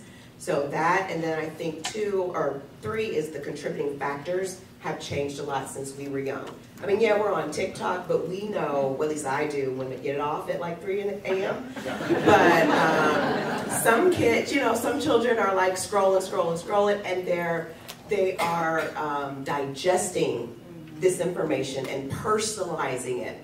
Well, what, what, what I'm proposing is to, especially for older children, to start to teach them what do what does a, a credible website. If you're going to go look up depression if you're going to go look up anxiety what do credible websites look like? And just because you might see someone or hear something on, on social media that you resonate with before you truly identify with them stop. So in the legislature, it's going back to talking about, okay, now we have social media, we have internet safety. We've talked about abuse, we've talked about trafficking, but how can we now protect our young people from the um, stressors that come from predatory um, issues when, when they're online, as well as some of the, the impacts of social And we, media. and we don't want social media to be the boogeyman, right? I mean, a lot Oh, of people no. like to make it the scapegoat. This is the reason we have mental health. It's one of the reasons, but it's not Yeah, the It's reason. a, there's a pro and a con, and again, I think it's about teaching young people so that they have the autonomy and they have the knowledge to, to know when to cut it off, when to draw boundaries, those types of things. It's like blaming the Beatles for our cultural demise, right? It's sort of the same sort of thing, right? I mean, it's just, uh, Trish, you were gonna ask, you were gonna ask something or comment on Or, something? or blaming hip hop. Idea, that is uh, an aha moment for me because it takes three to six months to get into our local mental health authority. Uh, yeah, we'll do intakes all day long, Monday through Friday, eight to three. But we don't have a psychiatrist on staff anymore. They see a nurse prac by Zoom. But if we could co-locate mental health in our school system, phenomenal. I love that. It's, it's, it's a model that we're, um, we're hoping to push toward. Of course, there's, there's the need for funding, but we are going in that direction with the um, CPAN and TCHATT, which TCHATT, if you're not familiar, it's the Texas, um, it's the Technology Children's Health Access um, Network where they can get free services through a school that connects with TCHATT. Um, I can make sure you're, you're connected there. And then CPAN, which is really great for rural communities where there aren't psychiatrists and psychologists. And that is like a network of behavioral health providers who consult with one another. One may be in Houston, another one may be in El Paso, and they can consult and still bring the services to those children even though they're not on site. Jamie, I wanted to ask you a follow-up. In terms of counselors in the schools, uh, sometimes legislators see that, they're still not putting more counselors in the schools or more money towards that, but is, is that, is that the biggest answer amongst many, or is it just one of many big answers? I personally, I think it's one of many big answers. The research tells us that if we, um, the schools that have a counselor, a school nurse, a social worker, the students tend to do better because they can have the case management services and all those things aren't falling onto one person. But I do think continuing to train our teachers um, in what and how to recognize those signs and symptoms, then we can start to navigate away from penalizing students who are um, just behaving in a way that is really a cry for help. And we send them to DAEP, we send them to juvenile justice system, we send them to DFPS. And oftentimes, about 70% of those children who go into those systems, that's the first time they've had a mental health screening. And that's too late. Obviously, it's too late. So what we are trying to do is help to um, re um, discipline policies and rethink what it what we're doing when we are, are taking a child who's merely laying their head down or their hood is over their, their, their head. We send them out of the classroom and then on to, to suspend them for two and three days. You're not, you're not helping their mental wellness. And now you're taking away their learning. And then you're going to blame them for not achieving high. So I think there's some restructuring to do as well when we are thinking about um, how to best support um, those young people. Good. Thank you, Dr. Freeman. Uh, Trish, uh, day in and day out, you're working with uh, uh, homeless people and homeless families. When you think about homeless families and homeless children in Victoria, what's the lesson that you're learning about those, from those kids and from those families that sort of needs to be addressed? One of my colleagues always says, no one wakes up in the morning wanting to be homeless. Um, mm. If we had adequate housing, three to five year wait for, or, sorry, yeah, three to five year wait for most of our housing in Victoria. We don't have affordable housing, okay? So when you're evicted, you're gonna live in your car or on my property. Um, mm. I'll address the obesity issue, but mental health care. Majority of our homeless community struggles with mental health care issues and drug addiction. We don't have an inpatient treatment facility. Um, and when mommy and daddy aren't well and can't pay the rent, where, where do they go? We don't have a homeless shelter. How about that? No homeless shelter in a And community. how many people are you feeding every day, just to get an idea of how many About homeless? 350 meals. Yeah, yeah. Okay, so we don't have a homeless shelter. Uh, We have a Salvation Army with 18 beds. We have city and county leadership that say we don't have a problem. I'm not, nothing about me is politically correct, so if I offend you, I'm sorry. But we have a huge problem. And uh, when I said we use food to get people in the door to develop relationship with them, these people think they're invisible. And I could go on forever. What's the biggest lesson I've learned? They're Yeah. people. People are people. My best friends don't have homes. They don't. But they would give me their last dollar. Or their only cigarette if I smoked. Or whatever I need. They take the pair of socks off their feet.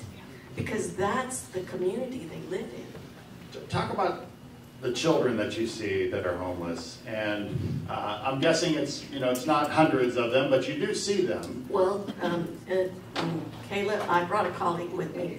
You can correct me. Um, in the school system in Victoria, last year we had over 700 homeless students. Now that's McKinney-Vento, correct? So that's a little bit different definition of their couch surfing there. Uh, They're living in It's cars. still tragic. They're, it's horrible. Kayla? A, a fact about our school district is this past year, we lost out on two million dollars federally, and this year we're anticipating three to four million dollars federally being lost due to lack of attendance, because of food insecurity, housing insecurity, and mental health issues, and the school district is crying out for help. So we're, we're in a world of hurt. Um, yes, we get a lot of children in. I have truancy officers that come to the kitchen because they want to identify the truants because mommy and daddy can't afford the dollar fifty bus fare to get their kids to school every day. We don't have free transit anymore. COVID was wonderful in that area because our transit was free. Everybody got to ride free.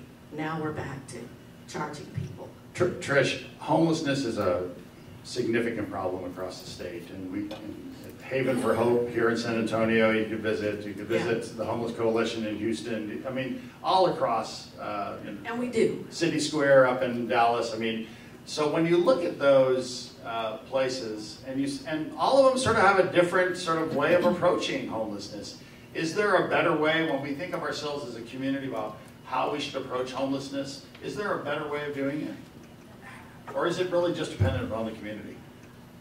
It's not a government problem, it's a human problem. And until we collaborate to work on the issue, we're gonna, we'll have a problem. But there's so many facets that contribute to the issue of homelessness that I, I can feed people all day long, but if I can't connect them to mental health or healthcare or housing, and you haven't talked too much yet, Deb, so. uh, But I, Or just let her go, just wait. what, what do we do? What do we do? And that's one reason why I wanted to come here today, is because I could talk, I could, I just want to sit here and ask you guys questions. Al- Alan, did you have something you wanted to add to what Trish was? Yeah, absolutely, and, and, and ask the question, because you, you, um, you described it right. Um, every, every city has a different way of approaching, um, homelessness. Uh, and in Houston, uh, I, I, and the reason I know, this, I served on the board and chaired the board of the Coalition for the Homeless in Houston uh, a few years ago. So I, I know a little bit about um, how Houston approaches uh, homelessness. And in Houston, it's um, permanent supportive housing.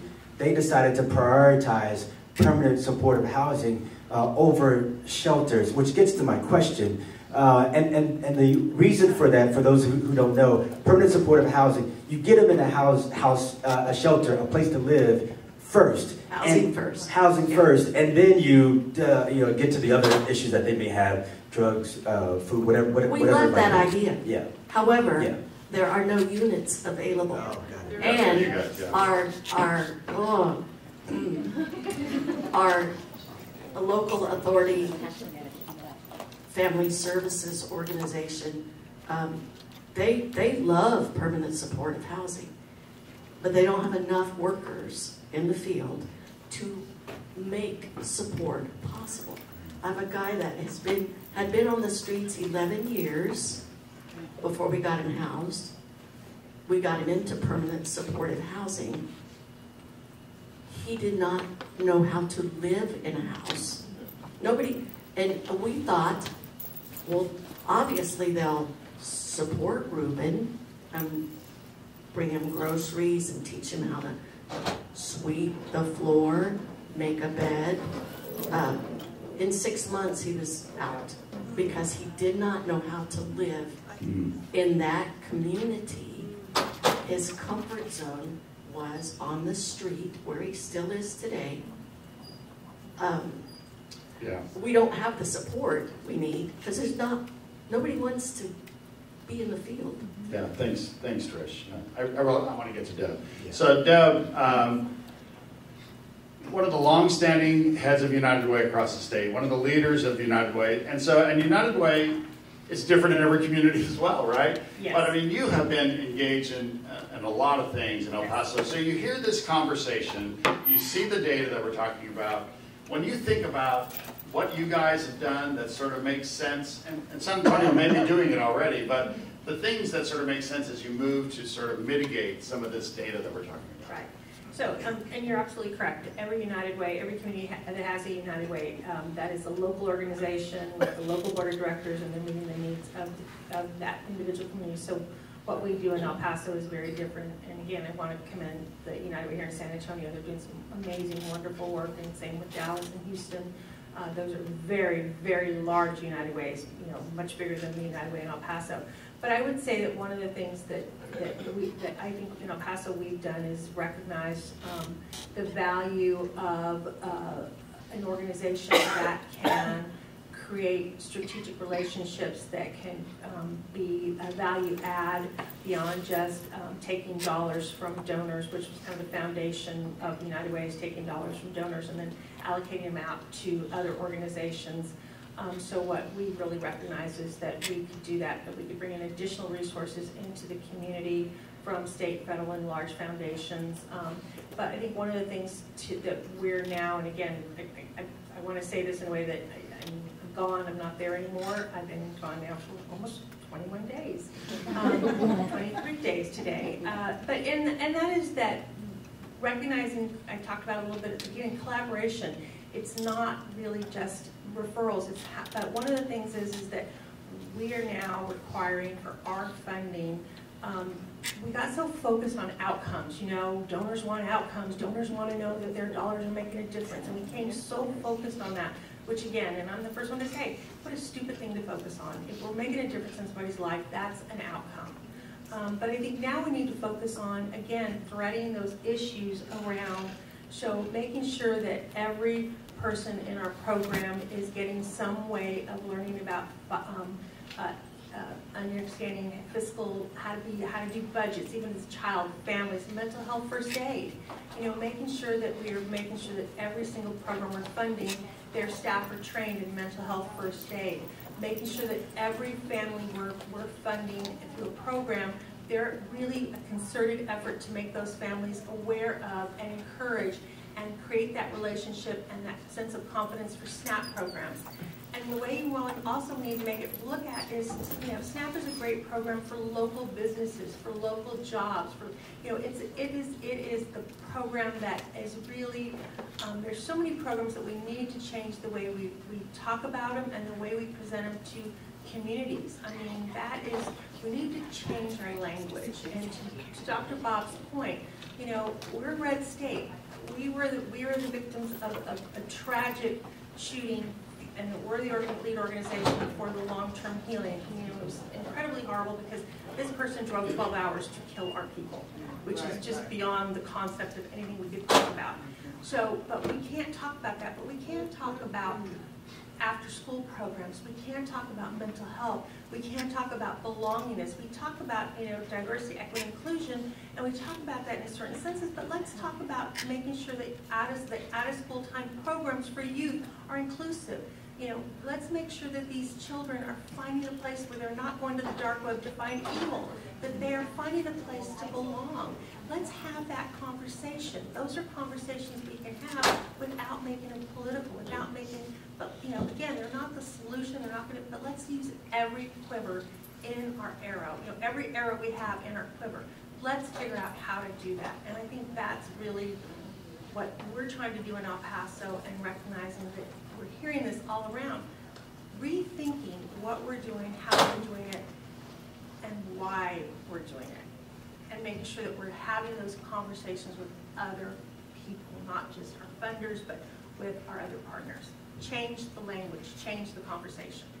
Jamie, you wanted to follow up? I just wanted to echo what you were saying. I, I did a research study with youth across Houston, and the number one thing that they wanted, recreation centers. Mm-hmm. Wow. I- it- Wow. And, and tell me that we can't go to, to, Yeah. elect, to, to companies, to donors, to elected officials, that's not controversial.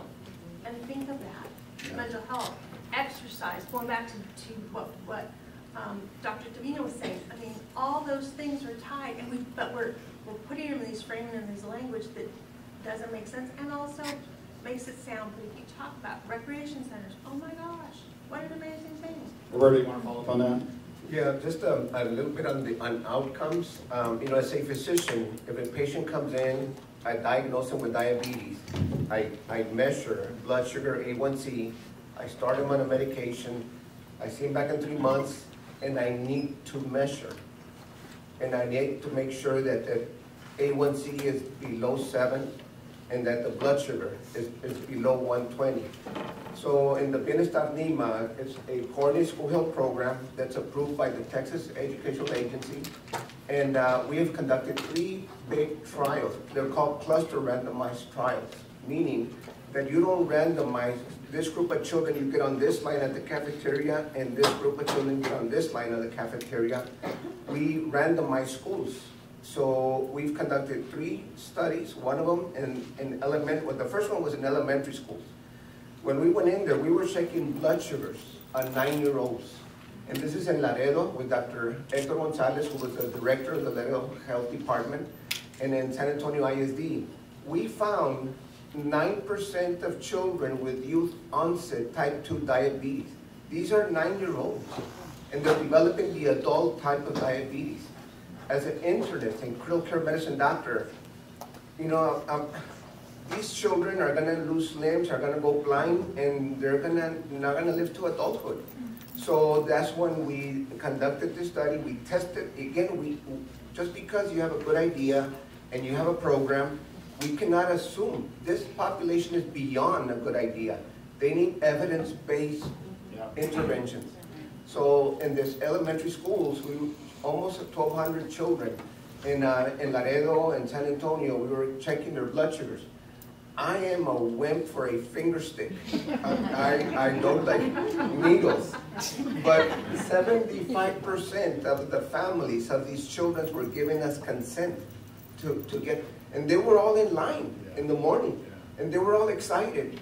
And I was looking at them, and later I realized that these children are growing up with grandmother that went blind, mm-hmm. with uncle that lost a limb, and on and on and on. And these children don't want to live like that. They, they really want to improve. So we, we measured their, their finger sticks, and then we followed them over two years. And over two years, the children in the schools that had the Bienestar NEEMA, we were able to decrease their blood sugar levels. And children that are, were in the control schools, their blood sugars went up. And so this study was published in the Archives of Pediatrics and Adolescent Medicine. So then, because the rate of diabetes or the adult type of diabetes occurs between the age of nine and the age of 12, which are middle school children, that's when uh, they go through puberty. And puberty is a very strange period where their blood sugars go up physiologically. Mm-hmm. Their insulins go up, their body fat increases, but when they pass puberty, all these come back to normal. They stay within physiological ranges, the insulin, the glucose, but then they come. But if these children are growing in a obe- obesogenic environment, these blood sugars just keep going at A1C and we're diagnosing children with adult type of diabetes. So the second study we did in middle schools, and this was in five states, 42 middle schools to test our curriculum. These are all NIH grants that we were funded, over $25 million of these grants. First of all, you know, the, the, the center that I work for, Social and Health Research Center, it's, it's a small little center. And uh, I'm not affiliated with the university, and I don't think I would last too long in the university. They would probably kick me out because I will scream out when there's injustices. And so um, we were funded to study. It was $11 million. And we followed uh, sixth graders all the way to eighth grade. Again, we randomized, so the 42, 21 were in the Bienestar NEEMA curriculum, and 21 were controlled. And we were, again, checking blood sugars, insulins, you know, adiposity levels, so forth, so on. At the end of the study, we were able to decrease insulin levels, decrease obesity rates, and, uh, and, uh, and lower glucose. And that study was published in the New England Journal of Medicine. So the earlier you catch them, the better the results. Early education is important. So we were just funded $2.8 million to do a study in the Rio Grande Valley, in, in uh, Pharr San Juan Alamo and La Joya. I don't know if you've ever been to La Joya, and it's not La Jolla by San Diego. that that is uh, one of the most richest. This is La Joya, Texas, where One of the most poorest. Yeah, yeah, so. and so these are, we did it, it's preschools. We started working with four-year-olds. And these four-year-olds make more sense than adults. They were amazing. So we randomized 28 preschools in these two school districts. 14 were in the Bienestar NEEMA and 14 were in the control. And, um, and we're still in the, in the study, but we already published a paper, came, in, came out last month in the Journal of School Health, where the children in our Bienestar, they were able to improve their cardiorespiratory fitness compared to the control. Cardiorespiratory fitness is related to, again, diabetes, cardiovascular disease. So these children are being programmed developmentally. So we need interventions to, again, and, and test them. Yeah, very good. D- Deb, and, and the work that you guys are doing at Bienestar NEEMA is, is uh, leaders in the state, right? So it's, to, for you guys to be here in San Antonio, it's fantastic. Deb, I wanted to do one follow-up, and then I want to open it up to something. Do we, are we getting questions from the audience? A lot, okay. So briefly, I'll make it brief. yeah. Um, one of the things that's, that El Paso has in uh, connection with San Antonio is that large military establishments, right? So that's part of your community. We haven't talked about that. What does that, you know, sometimes people think, well, everyone's working, but a lot of low-income families in the military community. So talk about maybe some of the things that we should be looking out for. So, I, I, I'm sorry, that's a, a really great question, and I think there's two pieces to that. Um, I think, obviously, the military also tends to be a little bit of a closed, um, community, and I think Mary could probably address this better than anyone. So sometimes they're, they're hesitant to admit that they have issues, um, because they feel like, you know, the, the feeling is, the- you know, the military takes care of their own. So there's a kind of a double-edged piece to this. And number one, that um, they want they want these families to seek out military support for whatever challenges they're having. But there's also, from the military, especially from some of the younger uh, members of the military community, they, there's a, a stigma and they're afraid, again, kind of back to why people don't seek out some of the public benefits. They're afraid to go to their um, military resources for mental health, for domestic violence, for food, for um, uh, financial education, because they don't want it to affect their career. So they're seeking services outside the base. So it becomes a very interesting relationship that, that many um, local organizations have in serving military families, but doing it in a way that is um, so it's, it's, it's been an interesting relationship Yeah. that we continue to develop, and it evolves depending on the leadership of the military Right? also. Yeah, very. All right, do we have a good question, Mary? We have several, so. Give us the um, best one. I, I'm gonna combine, um, one of them is for Dr. Trevino. Uh, one, it says, your passion brightly shines. So the first question was, is why did you change your shift the focus from medical to early education? But in that, another question that ties in this is, you spoke about obesity.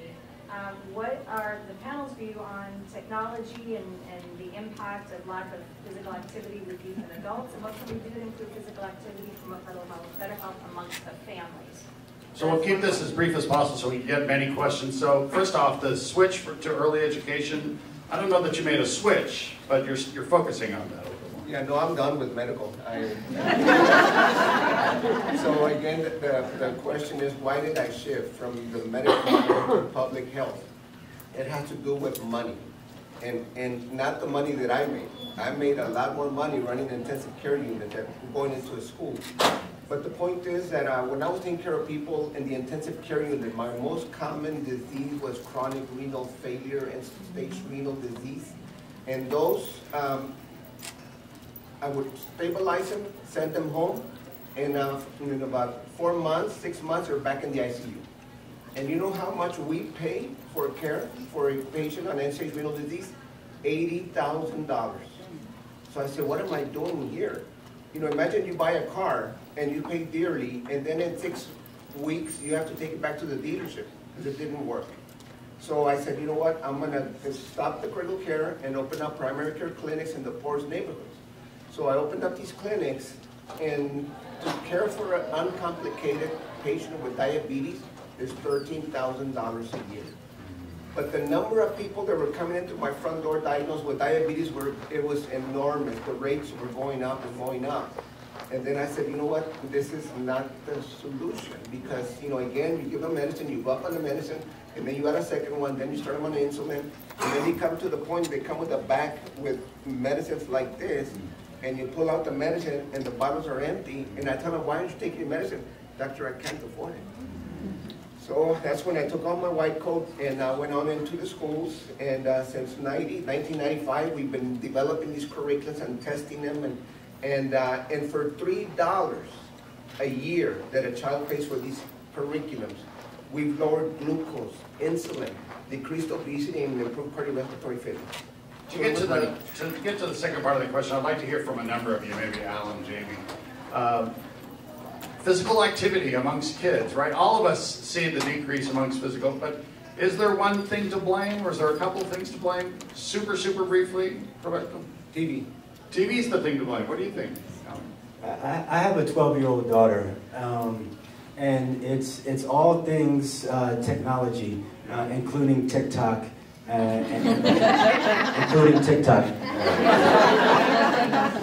Uh, but if we get her to turn, turn it off, uh, that's the challenge, and that's one of the things that we're having such a struggle with as a um, uh, um, me and her mother. We, we don't live together, um, but we do co-parent, uh, and and trying to force her to kick her out the door just to get her outside to go play. Um, is a freaking challenge. But what we have, what we decided to do as an alternative is to put her in in, in, sports. So she plays volleyball and uh, the soccer and, and all these things to kind of get her uh, get her physical physically moving. Jamie? Trauma. Trauma. Yeah. Yeah. yeah, yeah. I can explain a little bit more if you want me to. Super, super briefly. By show of hands, who has heard of adverse childhood experiences? Perfect. There you go. I will say. They sit around our office and figure out how many ACEs we each have, you know, and Yeah. So the yeah. Right. I, I didn't ask that question, but yes. So just um, really quickly, the that that um, whole theory came out of a need to identify um, what was driving the increase of patients into this weight loss clinic in California. They decided to survey those individuals, and what they started to see was there was a lot of trauma that these patients had, had experienced before age 18. Thus, we get adverse childhood experiences. If you think about the triangle, the way obesity fits in, the way physical activity fits in is once um, a child is exposed to trauma, then they, they are at an increased risk for coping with that trauma in negative ways because we don't have access to mental health care. There's not enough counselors in the schools. We don't have early assessment, blah, blah, blah. So there are a number of things that children start to do that are unhealthy with drugs, smoking, sex, and, all, and, and eating, not exercising. So then as you go up that pyramid, you start to see all those unhealthy coping mechanisms starting to then impact the body. So you start to get lung cancer and chronic disease and, and those things. So that's how that kind of happens, but it, it starts with that exposure to trauma and not having that healing support. And whenever you talk about changing people's habits, you know, you, we have to be intentional. And Roberto talked earlier about the idea of health classes. You know, that's a way of being intentional in terms of teaching people things that need to change. But when you have a state that eliminates health as one of the requirements and it's district by district, or you have a state that says we don't have a PE policy, that's district by district or school by school, and schools say, well, we need to teach the test, so no health classes and no PE. Well, we're not being intentional about some of the key problems that we have. All right, number, another great question. Absolutely. So how does a child navigate through Latino pride when seeking mental health treatment? I would expand that to say, how does the child navigate when the parent also might not be comfortable on that? And then a follow-on with another person is, what are some other causes tied to mental health challenges and needs of children? So I want to start, because of the Latino part of the question, Deb, if we can start with you and then we'll go to Jamie.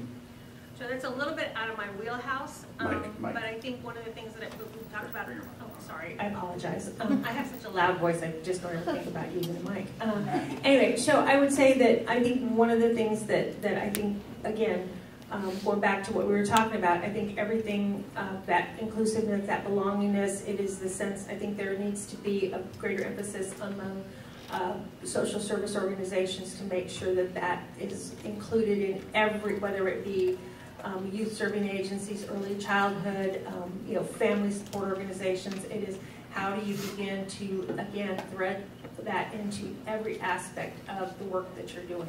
And so that it isn't, I think one of the things, if you start to do it um, as a set aside or as a, you know, focus on, it makes that more, you know, it makes it a, make it singling that child out of that person out versus just making it a part of the culture of inclusiveness. Jamie, this is a, a reality in pretty much every community. There's some sort of reason to not do mental health. So how, how do we overcome some of that? Education and reducing stigma first and foremost. Um, that's so important because the cultural aspects around seeking mental health are very impactful. And we're in a generation where, or we're at a time where there are some grandparents and parents that don't necessarily believe in mental illness or be- believe mental health, or they are they connect that to more of a spiritual thing, and they're like, "Oh, just go pray about it," Yeah. versus actually getting help. And so, what I usually say is to a pastor, "Okay, if a if a person walks up to you and their their knee, their leg is cut, is broke, are you what are you going to tell them to do?" They often say, "Oh, I'll tell them to go to the hospital." Okay, well, if a person is coming up to you and they're hyperventilating and they're telling you, I can't do this, I can't make it, I can't do this, what are you going to tell them to do? Oh, well, I'll sit down and pray with them. That's a problem because you're not recognizing the mental component, the mental illness of that.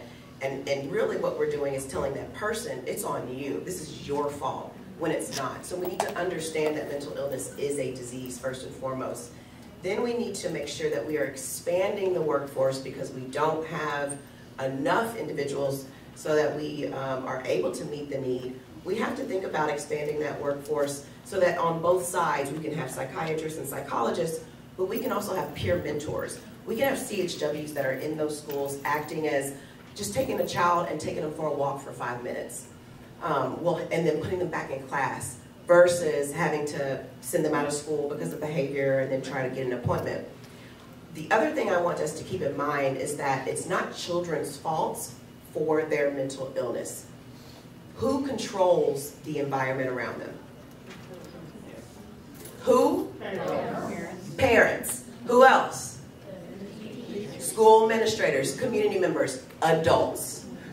Adults make these policies. Adults vote on whether to put parks or green spaces in a, in a school. Uh, it's adults. So we need to stop treating children as if they are the ones to blame for the results that we have on their mental health, on their mental wellness. When we're looking at them, yelling at them, screaming at them, you know, all these things that families do that, oh, it's okay, though, my parents did it to me and, and look how I turned out. It's like, no, you turned out good in spite of that happening. So we have to be more listeners and engage those young people in the conversation. And when they come to us, three things, listen, validate, and then reassure them, I love you, you are safe, we are gonna get you help. We could have, no, just- do the best. Uh, there's two good ones. Okay, so one is, um, some schools, it hasn't happened much yet in San Antonio, but I know this conversation, are shifting to four-day school days. So Are you seeing that affecting the other, like, social groups of health that you mentioned, such as with poverty, food, childcare, mental health? The second one, I'll put it out here too. Uh, We'll do the second one, but I, yeah, yeah. So, the first one, you know, if we want to see a lot of kids drop out, the best way to do is go to four-day school. Right. So I think that's really good. I feel like that, that superintendent will lose their job eventually when they do this. But any other thoughts about the four-day school week? I mean, I just think it's a horrible It'd be interesting to see if there's any um, uh, research data coming out yet, but I think anecdotally, I think we all have stories of, again, how it does increase um, risky behavior, parents still have to work, it increases, um, again, food insecurity. So parents hate it, Well, yeah, I mean, in childcare, it- it's, I mean, so I think. unless they're an and- affluent white mom who's at home, right? So Yeah, you don't even think that, you know, I mean, I haven't, really, reality, that's a, that's a diminishing number too. Um, so I, absolutely, I totally see that, that, to your point, that's gonna, it's not gonna, it's a trend that's not gonna last. Any other thoughts about the four days? Real quick, in all the studies we, that we do, and uh, when we're able to improve these uh, health measures, the summer comes, and when they come back to school, these measures tend up again. So the only hope of improving the health of these children is school. Wow. All right, what's our other great So, question? just, because this is really happening here in San Antonio, in housing, what can be done to assist the families who have lived in older neighborhoods that are now being revitalized and thus bringing in new owners, which increase the value of homes, property taxes? We know we talked about gentrification, but another piece on that is on that social cohesiveness that our older neighborhoods have, where you have multiple generations in those, those communities. And now when they lose that because they can't afford, you know, kids can't afford to live in the neighborhood where their families are, their parents were and grew up, now they have to move elsewhere and they lose that support. Alan, you want to take that? Yeah, um, a a lot of, Brief- Briefly, Alan. Uh, a lot of times the emphasis is on um, the production of housing, uh, but it's also, it- but we also need to include the preservation uh, of, of housing as well, uh, which means including the um, uh, those families who who live who live who, who currently live uh, within those neighborhoods where gentrification uh, is happening. Uh, and so what that means is um, applying some of these resources uh, that are currently out there available. One is um, um, uh, nonprofits that are that are focused on repairing homes for for seniors. Uh, like a, like for example, an organization called Rebuilding Together.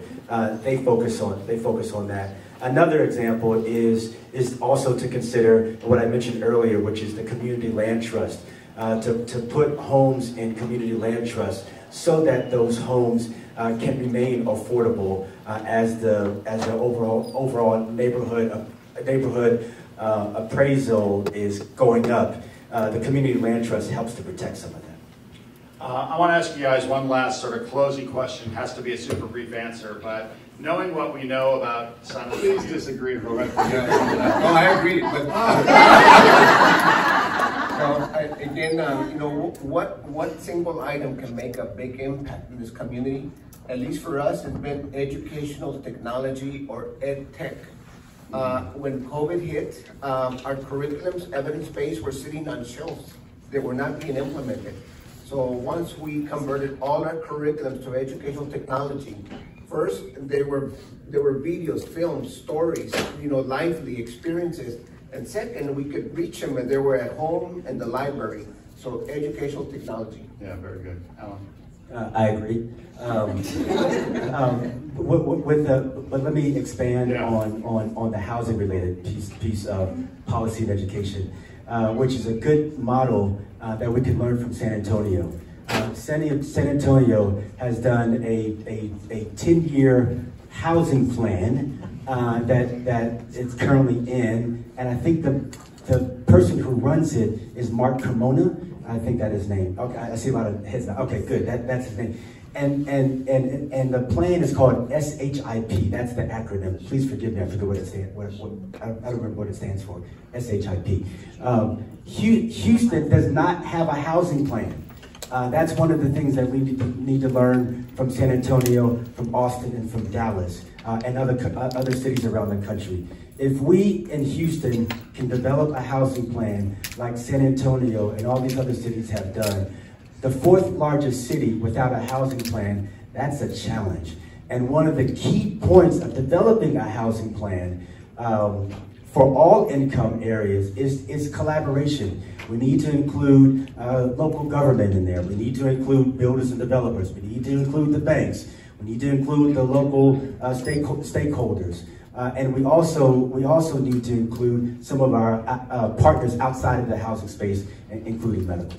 It's interesting, like when you talk about the collaboration amongst the housing and bringing everyone together. I remember during the pandemic, and we were sort of doing this whole no evictions during the pandemic, right? Try to stop evictions. Yet someone who's a big housing uh, advocate uh, from Avenue CDC, you know, was, yeah, Mary, uh, she was quick to say, we can do this, but you can't, there are people who own those places that depend upon the livelihood of that rent. What are we doing for them? And it's sort of interesting yes. when people try to collaborate and sort of see the big picture, you see a lot of different things, right? I still said no evictions, but it's, it's, it's just good sometimes. Hey, give our panel a big Thank you all very much.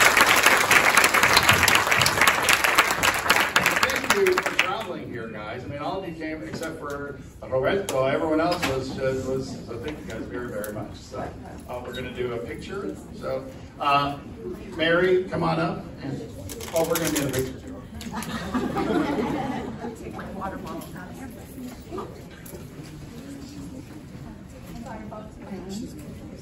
You have to get them when you have them now. Right.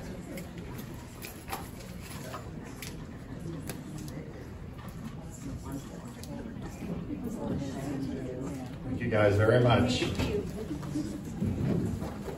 All right. Um, so as the uh, speakers make their way back, Mary and I want to have a, a couple of uh, final remarks. One, uh, for us, it's been uh, just our real pleasure to work with Family Service and to be able to be here in San Antonio. We love San Antonio. Uh, we have a great relationship with a lot of the media here. Their interest in uh, children and families is a reflection of the community, right? There's so much interest.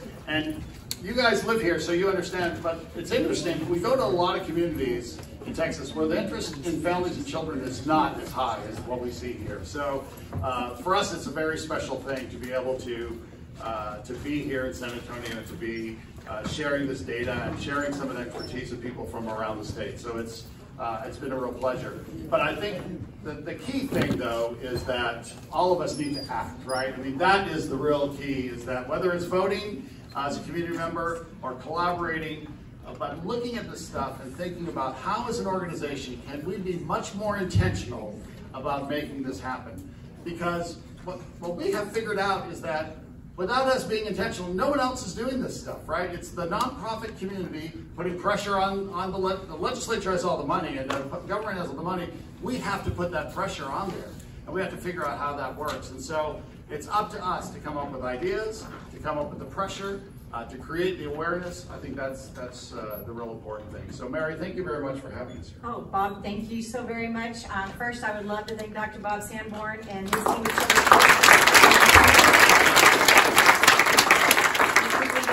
service team, but I really want to thank all of you for giving up your Friday morning to come spend time and have this conversation, which we hope will be an ongoing conversation across the community. We are all doing tremendous work in our various sectors here, and, and too often that work still happens in silos. Um, but I think as you saw today, and I, I want to answer that question you asked the panel about what's the one thing there. Oh, yeah. And, and, yes, absolutely, that foundation of early child, high quality early child education is so important, but it is a foundation. I don't know a single child that has gone through a high quality early child education that doesn't say that they want to grow up, you know, and be a doctor or a football player or a rap star or the president or whatever. They all say that. But even with those supports at the beginning, if we don't ensure we have those building blocks that are put in place by all of you in the work that you do across sectors, whether it's helping ensure they stay in school and graduate and then go on to college or workforce development training somewhere so they can break that cycle of poverty that they might have gone up in. That we ensure that they have access to high quality education or health care and understand health literacy so they know how to access and afford healthy food and know how to keep themselves healthy with physical activity and mental health and everything else that they also know, you know, that how to live in a safe home and that they can live in a safe home in a safe neighborhood with all of those supports out there and that they understand the importance of how to ask for help and where to ask for help when they need it to obtain those resources but just as importantly, to know that they are valued, that they have purpose in life, that we need them to be a part of our communities and be contributing in our communities. If they don't have all of that, then we're failing them and they are derailing along the way. So those kids that get access to high quality education, pre-K and all that, Head Start, whoever, whatever we're doing, how many of them at some point, you know, don't have those doors open to them? Those very institutions that exist to help support them are failing them for all sorts of institutionalized barriers here.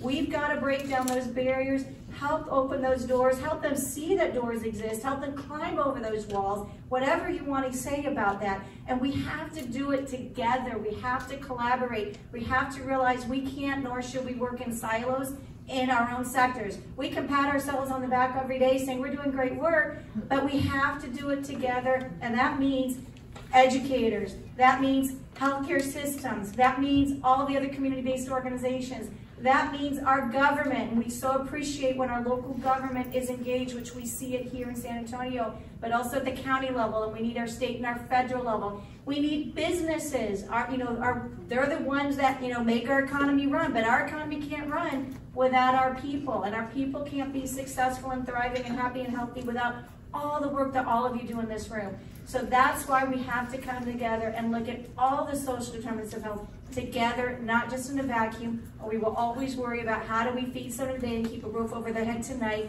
which is only addressing those symptoms, not addressing and, and changing the dynamic on those root causes. So thank you all so much for being here. Again, give us feedback on this. We are going to be planning one hopefully again next year And this, but separately we have other things already going on locally is how to bring us together in ways that we haven't done before because we've got to do things differently and better. We owe it to our communities, to our families, and our children because they are our future.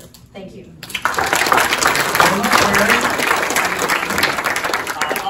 When you when you guys are doing your Facebook and your social media, make sure you tag us and make sure get this gets the word out as well.